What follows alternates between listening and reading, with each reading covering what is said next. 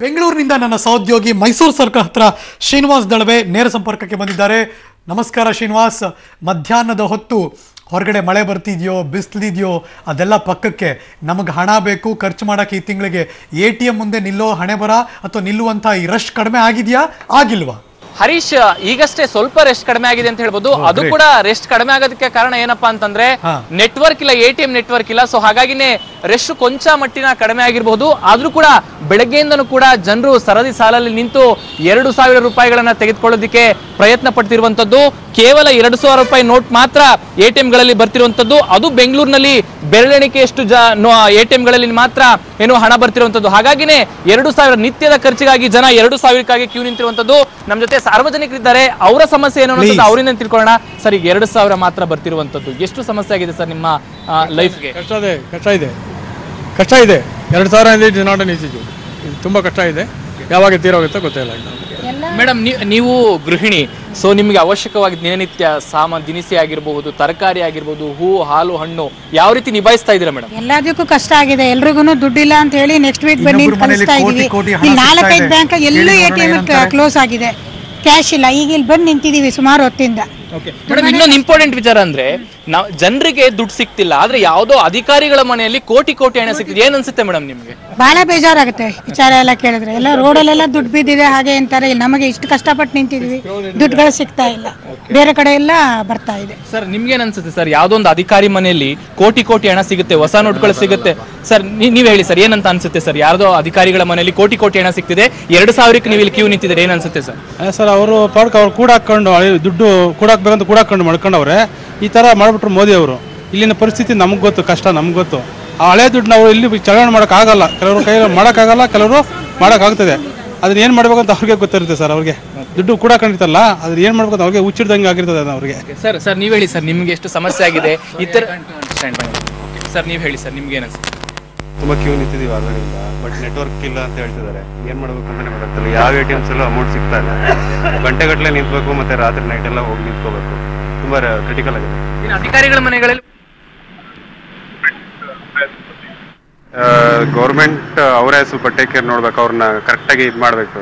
ಕರ I T I T ಡಿಪಾರ್ಟ್ಮೆಂಟಿಗೆ ಬಿಟ್ಟಿದ್ದದು. ನಮಗೆ ಏನು ನಾವೇನು ಹೇಳಿದ್ರು ಅದಷ್ಟೇ ಅವ್ರು ಎಷ್ಟು ಹೇಳಿದ್ರು ಅವ್ರು ಅದನ್ನೇ ಮಾಡ್ತಿದ್ದಾರೆ ಅಂತಂದ್ಮೇಲೆ ಅವ್ರು ತಿಳ್ಕೊಬೇಕು ಅವರು. ಅವರಿಗೆ ಒಂದು ಸ್ವಲ್ಪ ಅರಿವಿರ್ಬೇಕು ಮನುಷ್ಯರಾಗಿ. ಕ್ರಮ ತಗೊಳ್ಬೇಕು ಸ್ಟ್ರಿಕ್ಟ್ ಕ್ರಮ ಆಗ್ಬೇಕು ಅಂತೀರಾ? ಮೋದಿ ಅವ್ರು ಮಾಡಿದ್ದಾರೆ ಆಲ್ರೆಡಿ ಅದಾಗಬೇಕು. ಇನ್ನು ಸ್ವಲ್ಪ ಜಾಸ್ತಿನೇ ಆಗ್ಬೇಕು ಅವರಿಗೆ. ಹರೀಶ್ ಕೇಳಿದ್ರಿ ಜನರು ಹೇಳುವಂತದ್ದು ಸಾರ್ವಜನಿಕರು ಹೇಳುವಂತದ್ದು ನಿತ್ಯದ ಜೀವನಕ್ಕೆ ನಮಗೆ ಸಮಸ್ಯೆ ಆಗಿದೆ. ಎರಡು ಸಾವಿರಕ್ಕಾಗಿ ನಾವು Q ನಿಂತಿದ್ದೀವಿ.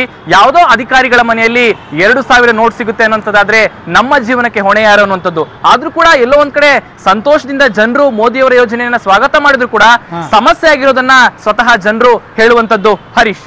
Okay thank you so much Srinivas Dalve ಈ ಕ್ಷಣದ ಎಲ್ಲ ಮಾಹಿತಿಗಾಗಿ ಒಂದು ರೀತಿ ಈ ಬೆಳವಣಿಗೆನ ಜನ ಸ್ವ- ಸ್ವಾಗತ ಮಾಡ್ತಿದ್ದಾರೆ. ಅದೆಲ್ಲೋ ಆಗುವಂಥ ಕಿರಿಕಿರಿ, ಪ್ರತಿನಿತ್ಯ ದೈನಂದಿನ ಜೀವನಕ್ಕೆ ಆಗ್ತಿರುವಂಥ ತೊಂದರೆ ಬಗ್ಗೆ ತಮ್ಮ ಅಸಮಾಧಾನ ವ್ಯಕ್ತಪಡಿಸಿದ್ದಾರೆ. ಬಟ್ ಅವ್ರಿಗೆ ದೊಡ್ಡ ಕೋಪ ಅಂತೂ ಇದ್ದೇ ಇದೆ. ಅಲ್ಲೆಲ್ಲೋ ಯಾರ್ದೋ ಮನೆಯಲ್ಲಿ ಸಾವಿರ ಸಾವಿರ ರೂಪಾಯಿ ನೋಟ್ ಸಿಗುತ್ತೆ ಸರ್, ಹೊಸದು. ಒಂದು ನೋಟ್ ತಗೊಳ್ಳೋಕೆ ನಾವು ಒಂದು ಅರ್ಧ ಗಂಟೆ ಕ್ಯೂ ನಿಂತಿರ್ತೀವಿ, ಎರಡು ಸಾವಿರ ರೂಪಾಯಿಗೆ ಅಂತ. ಏನಾದರೂ ಅಕೌಂಟಲ್ಲಿ ಒಂದೂವರೆ ಸಾವಿರ ರೂಪಾಯಿ ಇತ್ತು ಅಂದರೆ ಅವ್ರು ತೆಗಿಯೋಂಗೇ ಇಲ್ಲ ದುಡ್ಡನ್ನ ಬಿಕಾಸ್ ಬರ್ತಿರೋದೇ ಎರಡು ಸಾವಿರ ರೂಪಾಯಿ ನೋಟು ಸೊ ಹಾಗಾಗಿ ಸಿಗೋಕ್ಕೆ ಸಾಧ್ಯನೇ ಇಲ್ಲ ಅಂತ ಗುಲ್ಬರ್ಗಾದಿಂದ, ಅಂದರೆ ಕಲಬುರಗಿಯಿಂದ ನನ್ನ ಸಹೋದ್ಯೋಗಿ ಪ್ರವೀಣ್ ರೆಡ್ಡಿ ನೇರ ಸಂಪರ್ಕಕ್ಕೆ ಬಂದಿದ್ದಾರೆ. ಪ್ರವೀಣ್ ರೆಡ್ಡಿ, ಗುಲ್ಬರ್ಗಾದಲ್ಲಿ ಒಂದ್ ಕಡೆ ಕೋಟಿ ಕೋಟಿ ಹಣ ಅಧಿಕಾರಿಗಳ ಮನೆಯಲ್ಲಿ ಸಿಗುತ್ತೆ. ಇನ್ನೊಂದು ಕಡೆ ಕೋಟಿ ಕೋಟಿ ಜನರು ಎರಡು ಸಾವಿರ ರೂಪಾಯಿ ನೋಟ್ಗೋಸ್ಕರ ಗಂಟೆಗಟ್ಟಲೆ ಕಾಯೋ ಹಾಗಾಗುತ್ತೆ. ಕಲಬುರಗಿಯ ಪರಿಸ್ಥಿತಿ ಹೇಗಿದೆ? ಹಾ, ಹೌದು ಹರೀಶ್, ಕಲಬುರಗಿಯಲ್ಲಿ ಕೂಡ ಜನ ಎರಡು ಸಾವಿರ ರೂಪಾಯಿಗಾಗಿ ಒಂದು ಜನ ಪರದಾಡ್ತಾ ಇದ್ದಾರೆ. ಯಾಕಂದ್ರೆ ಈಗಾಗಲೇ ನವೆಂಬರ್ ಎಂಟರಂದು ನೋಟ್ ಬ್ಯಾನ್ ಆದ ನಂತರ ಹಣ ಪಡಿಬೇಕು ಅಂದ್ರೆ ಜನ ಸರದಿ ಸಾಲಿನಲ್ಲಿ ಈ ರೀತಿ ಕ್ಯೂ ಅಲ್ಲಿ ನಿಂತಾ ಇದ್ದಾರೆ. ಅದರಲ್ಲೂ ಕೂಡ ಕಲಬುರಗಿಯಲ್ಲಿ ತುಂಬಾನೇ ಚಳಿಗಾಲ ಆದ್ರೂ ಸಹ ಬಿಸಿ ಒಂದು ಬಿಸಿ ಒಂದು ಬೇಸಿಗೆ ಪ್ರ ರೀತಿಯಾದಂತಹ ಒಂದು ಬಿಸಿಲಿದೆ.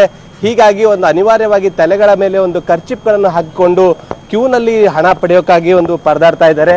ನೀವು ಇಲ್ಲಿ ದೃಶ್ಯದಲ್ಲಿ ಕೂಡ ನೋಡ್ತಾ ಇರ್ಬೋದು ಕಲಬುರಗಿ ನಗರದಲ್ಲಿರುವಂತಹ ಇದೊಂದು ಏಕೈಕ ಎ ಟಿ ನಲ್ಲಿ ಮಾತ್ರ ಹಣ ಸಿಗ್ತಾ ಇರೋದ್ರಿಂದ ಜನ ಇಲ್ಲಿ ಸರದಿ ಸಾಲಿನಲ್ಲಿ ನಿಲ್ತಾ ಇದ್ದಾರೆ. ಹಗಲು ರಾತ್ರಿ ಅಂದೇ ಬೆಳಗ್ಗೆ ಹನ್ನೆರಡು ಗಂಟೆ ಹಾ, ಹೌದು ಹರೀಶ್, ಕಲಬುರಗಿ ನಗರದಲ್ಲಿ ಕೇವಲ ಒಂದು ಎಟಿಎಂ ನಲ್ಲಿ ಮಾತ್ರ ಹಣ ಸಿಗ್ತಾ ಇದೆ. ಅದು ಕೂಡ ಆ ಒಂದು ಎಟಿಎಂ ನ ಸರ್ವರ್ ತುಂಬಾನೇ ಸ್ಲೋ ಆಗಿರೋದ್ರಿಂದ ಆ ಒಂದು ಎಟಿಎಂ ನಲ್ಲಿ ಒಬ್ಬ ಹಣ ಪಡಿಬೇಕಂದ್ರೆ ಕನಿಷ್ಠ ಕನಿಷ್ಠ ಅಂದ್ರೆ ಒಂದು ನಿಮಿಷ ಆಗ್ತಾ ಇದೆ. ಅದರಲ್ಲೂ ಕೂಡ ಯಾರಾದ್ರೂ ನಾಲ್ಕರಿಂದ ಐದು ಕಾರ್ಡ್ಗಳನ್ನು ಏನಾದರೂ ತಂದಿದ್ದೆ ಆದ್ರೆ ಸುಮಾರು ನಾಲ್ಕರಿಂದ ಹತ್ತು ನಿಮಿಷ ಅವರೊಬ್ಬರಿಗೆ ಬೇಕಾಗ್ತಾ ಇದೆ. ಹೀಗಾಗಿ ಒಂದು ಸತಿ ಕ್ಯೂ ಅಲ್ಲಿ ಏನಾದರೂ ಜನ ನಿಂತರೆ ಸಾಕು. ಕನಿಷ್ಠ ಪಕ್ಷ ಮೂರರಿಂದ ನಾಲ್ಕು ಗಂಟೆಗಳ ಕಾಲ ನಿಲ್ಲ ನಿಲ್ಬೇಕಾಗ್ತಾ ಇದೆ.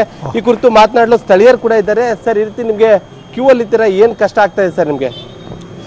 ಇವತ್ತಿನ ದಿವಸ ಏನು ನವೆಂಬರ್ ಎಂಟನೇ ತಾರೀಕು ಮೋದಿ ಅವರು ಕ್ರಮ ಕೈಗೊಂಡ್ರು ನೋಟ್ ಬ್ಯಾನ್ ಮಾಡಿದ್ರು ಅವತ್ತಿನಿಂದ ಜನಸಾಮಾನ್ಯರ ಪರಿಸ್ಥಿತಿ ಇದೇ ಆಗಿದೆ. ಅವ್ರು ಮಾಡಿದ ಉದ್ದೇಶ ಒಳ್ಳೇದಿರ್ಬೋದು, ಆದರೆ ಜನಸಾಮಾನ್ಯರಿಗೆ ತೊಂದರೆ ತಪ್ಪಿಸಬೇಕಾಗಿತ್ತು. ಇವತ್ತಿನ ದಿವಸ ನಿನ್ನೆ ನೋಡ್ತಾ ಇದ್ದೀವಿ ಟಿವಿಯಲ್ಲಿ ಏನು ಒಬ್ಬ ಎಸ್ ಅಧಿಕಾರಿ ಮನೆಯಲ್ಲಿ ಸುಮಾರು ನಾಲ್ಕೂವರೆ ಐದು ಕೋಟಿ ರೂಪಾಯಿ ಹೊಸ ನೋಟುಗಳು ಸಿಗ್ತಾ ಇದೆ ಅಂದ್ರೆ ಸಾಮಾನ್ಯ ಜನರಿಗೆ ಎರಡ್ ಸಾವಿರ ರೂಪಾಯಿ ಸಿಗ್ಲಿಕ್ಕೂ ಒಂದು, ಒಂದೊಂದು ದಿವಸ ಇಪ್ಪತ್ನಾಲ್ಕು ಗಂಟೆ ಪಾಳಿ ನಿಂತರ ಸಿಗ್ತಾ ಇಲ್ಲ. ಒಬ್ಬ ಎಸ್ ಅಧಿಕಾರಿ ಅಷ್ಟು ರೊಕ್ಕ ಸಿಗ್ತಾವಂದ್ರೆ ಭವಿಷ್ಯದಲ್ಲಿ ಬ್ಯಾಂಕ್ ಅಧಿಕಾರಿಗಳು ನೇರವಾಗಿ ಶಾಮೀಲಾಗಿದ್ದಾರೆ ಎಸ್ ಅಧಿಕಾರಿಗಳು ಶಾಮೀಲಾಗಿದ್ದಾರೆ ಮತ್ತು ರಾಜಕಾರಣಿಗಳು ಶಾಮೀಲಾಗಿದ್ದಾರೆ. ಅದನ್ನ ನಿನ್ನೆ ಸಿಕ್ಕಿರ್ತಕ್ಕಂಥ ಏನು ಸಿಕ್ಕಿದೆ ಅದರ ಬಗ್ಗೆ ಸಂಪೂರ್ಣ ಸಿಬಿಐ ತನಿಖೆ ಮಾಡಿ ಬ್ಯಾಂಕ್ ಅಧಿಕಾರಿಗಳನ್ನ ಅಧಿಕಾರಿಗಳನ್ನು ಅಧಿಕಾರಿಗಳನ್ನ ಮತ್ತು ಯಾರು ಮುಖ್ಯಮಂತ್ರಿ ಆಪ್ತರಿದ್ದಾರೆ, ಬಹುಶಃ ಮುಖ್ಯಮಂತ್ರಿಗಳ ಕೈವಾಡನೂ ಇದ್ರಿರ್ಬೋದು ಅವ್ರ ಮೇಲೂ ಕೂಡ ಕ್ರಮ ಕೈಗೊಳ್ಳಬೇಕು. ಸಾಮಾನ್ಯ ಜನರಿಗೆ ತೊಂದರೆ ಆಗದಂತ ರೀತಿಯಲ್ಲಿ ಬೇಗನೆ ಐದುನೂರು ರೂಪಾಯಿ ನೋಟುಗಳನ್ನು ಇನ್ನಿಷ್ಟು ನೋಟುಗಳನ್ನ ಎ ಟಿ ಎಂಗೆ ಹಾಕುವ ವ್ಯವಸ್ಥೆ ಮಾಡಬೇಕು. ಇಲ್ಲದೇ ಇದ್ದರೆ ಜನಸಾಮಾನ್ಯರು ರೊಚ್ಚಿಗೆ ಹೇಳ್ತಾರೆ ಅಂತಕ್ಕಂಥ ಮಾತನ್ನು ಹೇಳ್ಬೇಕಾಗ್ತದೆ. ಸರ್ ಹೇಳಿ ಸರ್ ಏನ್ ತೊಂದರೆ ಏನಾಗ್ತಾ ಇದೆ ಸರ್ ಈಗ? ಇಲ್ಲಿ ನೋಡ್ರಿ ಈಗ ನಾವೊಂದು ಕೇವಲ ಒಂದು ಬರ್ದದೆ ಎರಡ್ ಸಾವಿರ ರೂಪಾಯಿ ಬರ್ತಾ ಇದೆ ಎ ಟಿ ದಲ್ಲಿ ತಗೋಬೇಕಂದ್ರೆ. ನಾವೊಂದು ಒಂದು ಎರಡ್ ಸಾವಿರ ರೂಪಾಯಿ ತಗೋಬೇಕಂದ್ರೆ ಮೂರ್ ನಾಲ್ಕು ಗಂಟೆ ಬಿಸಿಲಲ್ಲಿ ನಿಲ್ಬೇಕು. ನೋಡ್ರಿ, ಅದು ಬೆಳಗ್ಗೆ ನಾವು ಈಗ ಹನ್ನೊಂದು ಗಂಟೆ ಬಂದು ನಿಂತಿದ್ದೀವಿ ಇಲ್ಲಿ ಒಟ್ಟಾರೆ ಜಿಲ್ಲೆಯ ಜನ ಹೇಳೋ ಪ್ರಕಾರ ಕೇವಲ ಎರಡು ಸಾವಿರ ರೂಪಾಯಿಗೆ ಮೂರರಿಂದ ನಾಲ್ಕು ಗಂಟೆಗಳ ಕಾಲ ನಿಲ್ಬೇಕಾಗ್ತಾ ಇದೆ. ಆದ್ರೆ ಸರ್ಕಾರದವರು ಮಾತ್ರ ಇದರ ಬಗ್ಗೆ ಯಾವುದೇ ರೀತಿಯಂತಹ ಗಮನ ಹರಿಸಿಲ್ಲ. ಹೀಗಾಗಿ ಜನಸಾಮಾನ್ಯರು ನಿಜವಾಗ್ಲೂ ತೊಂದರೆಯಲ್ಲಿದ್ದಾರೆ ಅನ್ನೋದು ಇಲ್ಲಿನ ಜನರ ಒಂದು ಪ್ರಮುಖ ಒಂದು ಆಗ್ರಹವಾಗಿದೆ, ಒಂದು ಬೇಡಿಕೆ ಕೂಡ ಆಗಿದೆ. ಏನಂದ್ರೆ yes Praveen thank you so much ನಿಮ್ಮ ಎಲ್ಲ ಮಾಹಿತಿಗಾಗಿ ಇದಿಷ್ಟು ಕೂಡ ಕಲಬುರಗಿಯಿಂದ ಬರ್ತಿರುವಂತಹ ಈ ಕ್ಷಣದ ವಿದ್ಯಮಾನಗಳು. ನೇರವಾಗಿ ಮೈಸೂರಿಗೆ ಹೋಗ್ತಿದ್ದೀನಿ. ಗುತ್ತಿಗೆದಾರರಾದಂತಹ ಆರ್ ವಿ ಬಸವೇಗೌಡರ ಜೊತೆ ನೇರ ಸಂಪರ್ಕದಲ್ಲಿದ್ದಾರೆ. ಸರ್ ಗಮನಿಸಬೇಕಾದದ್ದು ಹಲವಾರು ಅಂಶಗಳು. ಒಂದೇ ಇಲಾಖೆಯ ಆಯಕಟ್ಟಿನ ಜಾಗದಲ್ಲಿ ದಶಕಗಳಿಂದ ಒಬ್ಬ ಅಧಿಕಾರಿ ಟಿಕಾಣಿ ಹಾಕೊಂಡಿರ್ತಾರೆ ಅಂದರೆ ಯಾವ ಮಟ್ಟದಲ್ಲಿ ಅವ್ರ ಮೇಲೆ ಕೃಪಾ ಕಟಾಕ್ಷ ಇರುತ್ತೆ ಅಂತ. ಅಲ್ಲಿಂದ ಎತ್ತಂಗಡಿ ಮಾಡೋಲ್ಲ, ಎತ್ತಂಗಡಿ ಮಾಡದಷ್ಟು, ಮಾಡದೇ ಇದ್ದಷ್ಟು ಇನ್ನೊಬ್ಬರಿಗೆ ಲಾಭ. ಈ ಲೋಕಾಯುಕ್ತಕ್ಕೆ ದೂರು ಕೊಟ್ಟಿದ್ದೀನಿ ಅಂತೀರಿ ಬೇರೆ ಬೇರೆ ಕಡೆ ಹೋಗ್ತೀರಿ ಎಲ್ಲೂ ನ್ಯಾಯ ಸಿಗಲೇ ಇಲ್ಲ ಸರ್ ನಿಮ್ಗೆ ಹಂಗಾರೆ? ಸರ್ ಎಲ್ಲೂ ನ್ಯಾಯ ಸಿಗ್ಲಿಲ್ಲ. ಹಾ. ನಾನು ಈ ಲೋಕಾಯುಕ್ತ ಸಂಸ್ಥೆಗೆ ಅಲ್ದು ಅಲ್ದು ಸಾಕಾಯ್ತು. ಲೋಕಾಯುಕ್ತರಲ್ಲಿ ಚಿಕ್ಕರಾಯಪ್ಪನವ್ರಿಗೆ ಬೇಕಾದಂತ ಅಧಿಕಾರಿಗಳಿಗೆ ಇದ್ದರು ಲೋಕಾಯುಕ್ತ ಕಚೇರಿನಲ್ಲಿ. ನಾವು ಯಾವುದೇ ದೂರು ಕೊಟ್ಟರು ಕೂಡ ಲೋಕಾಯುಕ್ತರಿಗೆ ಲೋಕಾಯುಕ್ತರ ಕಚೇರಿಯಿಂದ ಚಿಕ್ಕರಾಯಪ್ಪನವ್ರಿಗೆ ಮೆಸೇಜ್ ಹೋಗ್ತಾ ಇತ್ತು. ಮೆಸೇಜ್ ಹೋಗ್ತಾ ಇತ್ತು. ಹಾ. ನಾನು ದಿನಾಂಕ ಇವರ ಭ್ರಷ್ಟಾಚಾರ ಕಣ್ಣಲ್ಲಿ ಬೇಕಾದಷ್ಟು ನೋಡಿದ ಕಾರಣ ಇವ್ರ ಮಗಳನ್ನ ಮದುವೆ ಮಾಡಿದ್ರು ಎರಡ್ ಸಾವಿರದ ಹದಿನೈದರಲ್ಲಿ ಏಳು ಆರು ಹದಿನೈದರಲ್ಲಿ. ಓಕೆ ಆವಾಗ ಈಗೇನ್ ಜನಾರ್ದನ್ ರೆಡ್ಡಿ ಹಣ ಖರ್ಚು ಮಾಡಿದ್ರು ಹಾ ಸರ್ ಅದಕ್ ಅದಕ್ಕೂ ಅದನ್ನ ಮೀರೇ ಖರ್ಚು ಮಾಡಿದ್ರು ಅವತ್ತು. ಆಗ ನಾವು ಸೋನಿಯಾ ನಾರ್ಗ್ ಮೇಡಮ್ ಇದ್ರು ಲೋಕಾಯುಕ್ತ ಕಚೇರಿನಲ್ಲಿ. ಅವ್ರನ್ನ ಭೇಟಿ ಮಾಡಿ ಮೇಡಮ್ ಇವತ್ತು ಕಪ್ಪು ಹಣ ಪ್ರದರ್ಶನ ಆಗ್ತಾ ಇದೆ ಅರಮನೆ ಮೈದಾನದಲ್ಲಿ. ತಾವು ತಾವು ಆಡಿ ಇವತ್ತು ಅವ್ರ ಮನೆ ಮದುವೆ ಎಲ್ಲ ಆಡಿ ಇವತ್ತು ಅಕ್ರಮ ಸಂಪತ್ ಸಿಗ್ತಿದೆ ಅಂತ ಹೇಳಿದೆ. ಸರ್ ಅರಮನೆ ಮೈದಾನದಲ್ಲಿ ಅವ್ರ ಮಗಳು ಮದುವೆ ಮಾಡ್ತಾರೆ. ಅವಾಗ ಅವ್ರು ಯಾವ ಪೋಸ್ಟ್ ಸರ್ ಆಗ. ಯಾವ ಪೋಸ್ಟ್ ಅಲ್ಲಿ ಇರ್ತಾರೆ ಸರ್ ಪಿಡಬ್ಲ್ಯೂ ಆಲ್ರೆಡಿ ಸರ್ಕಾರದ ಕಾರ್ಯದರ್ಶಿ ಸರ್ ಲೋಕೋಪಯೋಗಿ ಇಲಾಖೆ ಸರ್ಕಾರದ ಕಾರ್ಯದರ್ಶಿ. ಸರ್ಕಾರದ ಕಾರ್ಯದರ್ಶಿ. ಎಷ್ಟು ಅಮೌಂಟ್ ಎಷ್ಟು ಕಾರ್ಯದರ್ಶಿ, ನಿಮ್ ಪ್ರಕಾರ ಎಷ್ಟು ಅಮೌಂಟ್ ಖರ್ಚಾಗಿರ್ಬೋದು ಸರ್ ಅವಾಗ? ಅಂದ್ರೆ ಒಂದು ವರ್ಷದಿಂದ ಒಂದೂವರೆ ವರ್ಷದ ಹಿಂದೆ. ಸರ್ ಹಾ ಹೌದೌದು ಸರ್ ಮಾಡಿದ್ರೆ ಅವತ್ತು ನಾನು ಕಣ್ಣಾರೆ ನೋಡಿದೆ ಬಹಳ ಅದ್ದೂರಿಯಾಗಿತ್ತು. ಎಷ್ಟು ಸರ್ ಒಂದೊಂದು ಅಂದಾಜು ಕೋಟಿ ಮೇಲ್ ಮಾಡಿರ್ತಾರೆ ಅದು. ಎಷ್ಟು? ಒಂದು ಐವತ್ತು ಕೋಟಿ ಮೇಲ್ ಖರ್ಚು ಮಾಡೋರು ಒಂದ್ ಐವತ್ತು ಕೋಟಿ ಮೇಲ್ ಖರ್ಚು ಮಾಡಿದ್ರೆ ಅಂತ ಒಂದು ಅಂದಾಜಿತ್ತು ಸರ್ ಈಗ ಮದುವೆ ಮಾಡಿದ್ರಲ್ಲ ಸರ್ ಅವರು ಬಳ್ಳಾರಿ ದಣಿಗಳು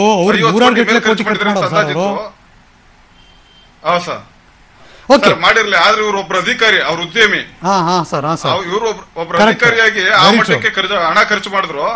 ಆಗ ಸೋನಿಯಾ ಆರೋಗ್ಯ ಮೇಡಮ್ ಹತ್ರ ನಾನು ಸರಿ. ಸೋನಿಯಾ ನಾರಗ್ ಮೇಡಮ್ ಹತ್ರ ಹೋಗಿ ಕೋರ್ಕೊಂಡಾಗ ಆಯ್ತು. ಅವರು ನಮ್ಗೆ ಅವರ ಆಸ್ತಿಗಳ ದಾಖಲಾತಿಗಳು ಕೊಡಿ ನಾವು ಏಕೈಕ ಹೋಗಿ ಹಂಗೆ ನಾವು ರೇಡ್ ಮಾಡಕ್ಕಾಗಲ್ಲ ಅಂತ ಹೇಳಿದ್ರು. ಆಯ್ತು.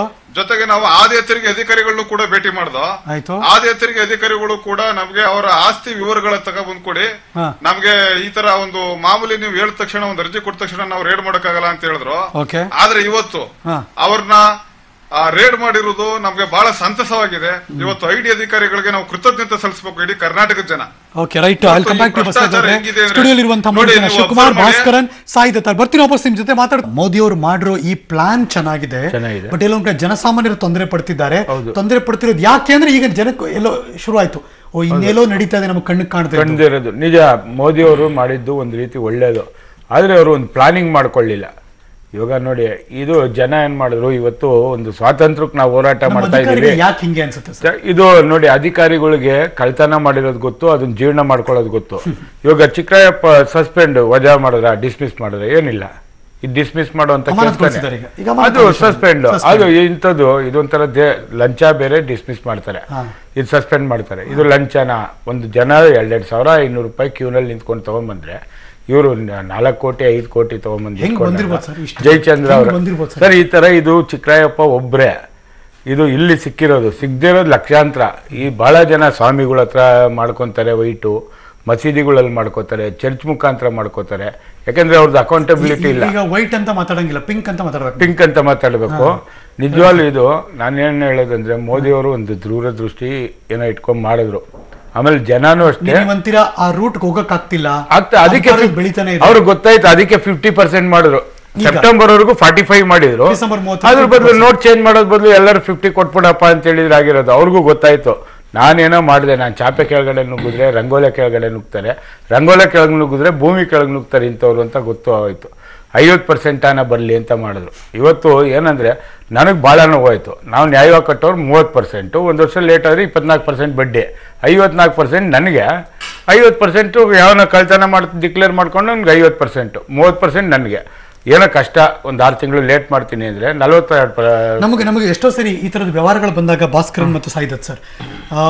ಲೋಕಾಯುಕ್ತ ಒಂದು ಸಂಸ್ಥೆ ಇದೆ, ನಮ್ಗೇನೋ ಒಂದು ನಂಬಿಕೆ ಅಲ್ಲಿಂದ ಏನೋ ನಮ್ಗೆ ಹೆಲ್ಪ್ ಆಗುತ್ತೆ ಅಂತ ಒಂದು. ಇನ್ನೊಂದು ಗೊತ್ತಿಲ್ಲ, ಬಸವೇಗೌಡರು ಮಾತಾಡ್ತಿರ್ಬೇಕಾದ್ರೆ ಅವಾಗ ನಡೀತಿದ್ದ ಬೆಳವಣಿಗೆಗಳು, ಅವರ ಮಗಳ ಮದುವೆ ಆಗಬೇಕಾದ್ರೆ ಯಾರು ಲೋಕಾಯುಕ್ತರಾಗಿದ್ದರು ಅವ್ರು ಏನೇನು ಫೇಸ್ ಮಾಡ್ತಿದ್ರು ಪ್ರಾಬ್ಲಮ್ಮು ಅವಾಗ ಲೋಕಾಯುಕ್ತರ ಮೇಲೆ ನಮ್ಮ ನಂಬಿಕೆ ಎಷ್ಟು ಸುಳ್ಳಾಯಿತು ಪ್ಲಸ್ ಆ್ಯಂಟಿ ಕರಪ್ಷನ್ ಬ್ಯೂರೋ ಅದೊಂದು ಓಪನ್ ಆಯಿತು, ಭ್ರಷ್ಟಾಚಾರ ನಿಗ್ರಹ ದಳ. ಅದ್ರ ಮೇಲೆ ಕೂಡ ಜನ ನಂಬಿಕೆ ಇಲ್ಲ ಈಗ ಬಿಕಾಸ್ ಅದೊಂದು ದೊಡ್ಡ ಮಟ್ಟದಲ್ಲಿ ಏನೋ ಒಂದು ಹೇಳಿಕೊಳ್ಳುವಂತಹ ಕಾರ್ಯಚಟುವಟಿಕೆ ಮಾಡಿಬಿಟ್ಟಿದ್ರೆ ಜನಕ್ಕೊಂದು ನಂಬಿಕೆ ಬರ್ತಿತ್ತು, ಇನ್ನೇನೋ ಮಾಡ್ತಿದ್ದಂತ ಒಂದು ರೀತಿ ಈ ನಂಬಿಕೆಗಳಿಂದ ಜನ ಕಳ್ಕೊಳ್ಳೋಕೆ ಶುರು ಮಾಡಿಬಿಟ್ಟಿದ್ರೆ ಭಾಸ್ಕರ್ ಸರ್ ನೋಡಿ ಈ ಲೋಕಾಯುಕ್ತ ಸಂಸ್ಥೆದು ನೀವು ಪ್ರಶ್ನೆ ಎತ್ತಿದ್ದೀರಿ. ದೇಶದಲ್ಲಿ ಎಲ್ಲಾದರೆ ಲೋಕಾಯುಕ್ತ ಸಂಸ್ಥೆ ಬಗ್ಗೆ ಸ್ಟಡಿ ಮಾಡಬೇಕು ಅಂದರೆ ಎಲ್ಲ ರಾಜ್ಯಗಳಿಂದ ಸ್ಟಡಿ ಟೂರ್ ನಮ್ಮ ಕರ್ನಾಟಕಕ್ಕೆ ಬರೋರು. ಕರೆಕ್ಟ್ ಹಂಗಿತ್ತು ನಮ್ಮ ನಮ್ಮ ಲೋಕಾಯುಕ್ತ ಸಂಸ್ಥೆ ಆ ಸಂಘಟನೆ ಅಷ್ಟು ಶಕ್ತಿಯುತವಾಗಿತ್ತು. ವೆಂಕಟಾಚಲಯ್ಯನವರು ನಮ್ಮ ಸಂತೋಷ್ ಹೆಗಡೆ ಅವರು ಅದರದ ಶಿಖರಕ್ಕೆ ತಗೊಂಡು ಹೋಗಿದ್ರು. True. ಅದರ ಬೆಲೆ ಅಷ್ಟು ದುಡ್ಡು ತಗೊಂಡು ಹೋಗಿದ್ರು. ಕರೆಕ್ಟ್ ಸಿದ್ದರಾಮಯ್ಯನವರು ಬಂದರು. ಒಂದೇ ಹೆಸರಿಟ್ಟುಕೊಂಡು ಒಂದೇ ಬಾಲ ಇಟ್ಟುಕೊಂಡು ಮಾಡಿದರು. ಅವ್ರ ಉದ್ದೇಶ ಏನಿತ್ತು ಅಂದರೆ ಸ್ವತಃ ಸಿದ್ದರಾಮಯ್ಯನವ್ರ ಮೇಲೇ ಹದಿಮೂರರಿಂದ ಹದಿನಾಲ್ಕು ಕಂಪ್ಲೇಂಟು ಲೋಕಾಯುಕ್ತಲ್ಲಿತ್ತು ಮಾದೇವಪ್ಪನವ್ರ ಮೇಲಿತ್ತು ಮಾದೇವ್ ಪ್ರಕಾಶ್ ಮೇಲಿತ್ತು ಇವರು ಎಲ್ಲ ಸಂಗಡಿಗರ ಮೇಲಿತ್ತು. ಲೋಕಾಯುಕ್ತ ಸಂಸ್ಥೆಯನ್ನು ನಿರ್ವೀರ್ಯ ಮಾಡಿ ನಿರ್ನಾಮ ಮಾಡಿಬಿಟ್ರೆ they are safe they are safe ಐದು ವರ್ಷಕ್ಕೆ. ಜನಗಳಿಗೆ ಏನು ಮಾಡೋಣ ಒಂದು ಮಂಕು ಬುದ್ಧಿ ಎರಚಿಬಿಟ್ಟು ಇದಕ್ಕೆ ಪರ್ಯಾಯವಾಗಿ ಒಂದು ಆಲ್ಟರ್ನೇಟ್ ಆಗಿ ಎ ಸಿ ಬಿಯನ್ನು ಕೊಟ್ಟಿದ್ದೀವಿ ಅಂತ ಹೇಳೋದಿಕ್ಕೆ. ನಾನು ಕೇಳ್ತೀನಿ ನಿಮಗೆ ಮೂರೇ ಜನ ಇರೋ ಆಫೀಸರ್ಸ್ ಅದು, ಪ್ರಮುಖವಾಗಿ. ಅಂದರೆ ರಿಜಿಸ್ಟ್ರಾರ್ ಬಿಟ್ಟು ಉಪ ಲೋಕಾಯುಕ್ತರು ಇಬ್ಬರು ಒಬ್ಬರು ಲೋಕಾಯುಕ್ತರು. ಒಬ್ಬ ಲೋಕಾಯುಕ್ತನನ್ನ ನೂರ ಮೂವತ್ತು ಕೋಟಿ ಜನಸಂಖ್ಯೆ ಇರುವಂಥ ಒಂದು ರಾಷ್ಟ್ರದಲ್ಲಿ ಒಬ್ಬ ಪ್ರಾಮಾಣಿಕನನ್ನ, ಒಬ್ಬ ಶಕ್ತಿ ತಂದು ಕೂಡ್ಸಕ್ ಆಗದಿದ್ಮೇಲೆ ಸಿದ್ದರಾಮಯ್ಯನವರು ಈ ನಾಡಿಗೆ ಮುಖ್ಯಮಂತ್ರಿಯಾಗಿ ಯಾಕಿರ್ಬೇಕು? ಇಚ್ಛಾಶಕ್ತಿಯ ಇಚ್ಛಾಶಕ್ತಿ ಇಚ್ಛಾಶಕ್ತಿ ಅಲ್ಲ ಇಚ್ಛಾಶಕ್ತಿ ಇದೆ ಅವರಿಗೆ. ಇದೆ. ಮಾಡ್ಬೇಕು ಅಂದ್ರೆ ನೋಡಿ ಟಿಪ್ಪು ಜಯಂತಿ ಮಾಡಬಾರ್ದು ಅಂದ್ರೆ ಮಾಡೇ ಮಾಡ್ತೀನಿ ಅಂತ ಮಾಡಿದ್ರು. ಸ್ಟೀಲ್ ಬ್ರಿಡ್ಜ್ ಮಾಡಬೇಡಿ ಅಂದ್ರೆ ಮಾಡೇ ಮಾಡ್ತೀನಿ ಅಂತ ದುರಾಂಕಾರ ಬಿದ್ದು ಮಾಡ್ತಾ ಇದ್ದಾರೆ. ಆದ್ರೆ ಆರೂವರೆ ಕೋಟಿ ಜನರ ಒಂದು ಭ್ರಷ್ಟಾಚಾರದಲ್ಲಿ ಬೇಯ್ತಾ ಇದ್ದಾರಲ್ಲ ಅದಕ್ಕೆ ಒಂದು ಮದ್ದು ಹುಡ್ಕೋದಿಕ್ಕೆ ಒಂದು ಲೋಕಾಯುಕ್ತರನ್ನ ತರಬೇಕಲ್ಲ. ಅವ್ರಿಗೆ ಇಚ್ಛಾಶಕ್ತಿ ಇಲ್ಲ. ಅವ್ರು ಬಂದಿರೋದೇನು? ಕಾಂಗ್ರೆಸ್ ಪಕ್ಷಕ್ಕೆ ಬಂದಿರೋದೇ ಅವರು ಮುಖ್ಯಮಂತ್ರಿ ಆಗೋದಿಕ್ಕೆ. ಎಷ್ಟಾಯ್ತದ ಕೊಳ್ಳೆ ಹೊಡ್ಕೊಂಡು ಗೋರ್ಕೊಂಡು ಉಚ್ಚುಮುಂಡೆ ಮಗನ ಮದುವೆಯಲ್ಲಿ ಉಂಡವನೇ ಜಾಣ ಅನ್ನೋ ಥರ ಕೊಳ್ಳೆ ಹೊಡ್ಕೊಂಡು ಹೋಗ್ತಾನ ಅಪ್ಪ ಎಕ್ಸಾಕ್ಟ್ಲಿ ಈ ಬಾಚಿ ಬಾಚಿ ಸ್ವಾಹ ಮಾಡುವಂತ ಈ ಅಧಿಕಾರಿಗಳಿರ್ತಲ್ಲ ಸಾಯಿದತ್ ಸರ್ ಇವಾಗಲೂ ಅದೊಂದು ಡಾಕ್ಯುಮೆಂಟ್ ಹೇಳ್ತಿದ್ರಿ ನನಗೆ. ಈ ಏನೋ ಯಾವುದೊಂದು ಮನೆ ಕಟ್ಟೋದು ಕಾರ್ ತಗೊಳ್ಳೋದು ಇದೆಲ್ಲ ಯಾವ ಧೈರ್ಯದ ಮೇಲೆ ಮಾಡ್ತಾರೆ ಸರ್? ಇವ್ರಿಗಿರೋ ಆದಾಯ ಮತ್ತು ಇವ್ರು ತೋರಿಸ್ಕೊಳ್ತಿರುವಂತಹ ಇರುವಂತಹ ರೀತಿ. ಈಗ ಆ, ಭಾಸ್ಕರನ್ ಅವರು ಹೇಳಿದಾಗೆ ಲೋಕಾಯುಕ್ತದಲ್ಲಿ ಲೋಕಾಯುಕ್ತರ ಇಲ್ಲ. ನಾನು ಕಳೆದ ಆಗಸ್ಟ್ನಲ್ಲೂ ಒಂದು ಮಾಹಿತಿ ಹಕ್ಕು ಅಧಿನಿಯಮದಲ್ಲಿ ಒಂದು ಮಾಹಿತಿ ಪಡೆದುಕೊಂಡೆ ಅದರ ಪ್ರಕಾರವಾಗಿ ಲೋಕಾಯುಕ್ತರೇ ವಿಚಾರಣೆ ನಡೆಸಬೇಕಾದಂಥ ಹೊಸ ದೂರುಗಳು ಅಂದರೆ ಸಾವಿರದ ಏಳ್ನೂರ ತೊಂಬತ್ತೊಂದು ದೂರುಗಳು ಕೇವಲ ಸ್ವೀಕೃತ ಆಗಿದೆ ವಿನಃ ಯಾವುದೇ ಆರೋಪಿಗಳಿಗೆ ನೋಟಿಸ್ ಕೊಡ. ಅಧಿಕಾರಿಗಳಿಗೆ ಭಯ ಇಲ್ಲ ಖಂಡಿತವಾಗಿಯೂ ಅಂದರೆ. ಇದೇ ಚಿಕ್ಕರಾಯಪ್ಪ ಹಾಗೂ ಜಯಚಂದ್ರ ಅವರ ಮೇಲೆ ಲೋಕಾಯುಕ್ತ ದಾಳಿ ನಡೆದು ಅವರ ಮುಂದಿನ ತನಿಖೆಗಾಗಿ ಸರ್ಕಾರಕ್ಕೆ ಅನುಮತಿಗಾಗಿ ಹೋದಾಗ ಲೋಕಾಯುಕ್ತ ಸಂಸ್ಥೆಗೆ ಇದೇ ಸರ್ಕಾರ ಅನುಮತಿಯನ್ನ ನಿರಾಕರಿಸುತ್ತೆ. ಅದರ ಮುಂದುವರೆದ ಭಾಗವೇ ಇವತ್ತು ಆದಾಯ ತೆರಿಗೆ ಇಲಾಖೆಯಿಂದ ದಾಳಿ ಆಗಿರತಕ್ಕಂಥದ್ದು. ಅದೇ ಸಂದರ್ಭದಲ್ಲಿ ವಿಚಾರಣೆಗೆ ಅನುಮತಿ ನೀಡಿ ಇವರ ಮೇಲೆ ಕ್ರಮ ಕೈಗೊಂಡಿದ್ದಿದ್ರೆ ಈ ಒಂದು ಪ್ರಕರಣ ಇಲ್ಲ ಒಂದು ರೀತಿಯಲ್ಲಿ ಆಗ್ತಾನೆ ಇರಲಿಲ್ಲ ಅಂತಕ್ಕಂಥದ್ದು ನನ್ನ ಭಾವನೆ ಇದೆ.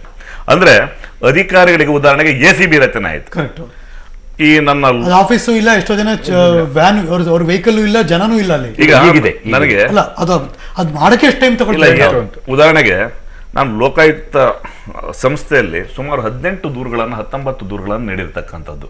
ಈಗ ಲೋಕಾಯುಕ್ತರ ವಿಚಾರಣೆ ನಡೆಸಬೇಕಾದಂತಹ ನನ್ನ ಮೂರು ದೂರುಗಳು ಕೂಡ ಹಿರಿಯ ಐ ಎ ಎಸ್ ಅಧಿಕಾರಿಗಳ ಮೇಲೆ ದಾಖಲಿಸಿದಂಥ ದೂರುಗಳು ಅದು ಕೂಡ ಯಾವುದೇ ರೀತಿಯಲ್ಲಿ ನೋಟಿಸ್ ಆಗದೇ ಇರತಕ್ಕಂಥದ್ದು.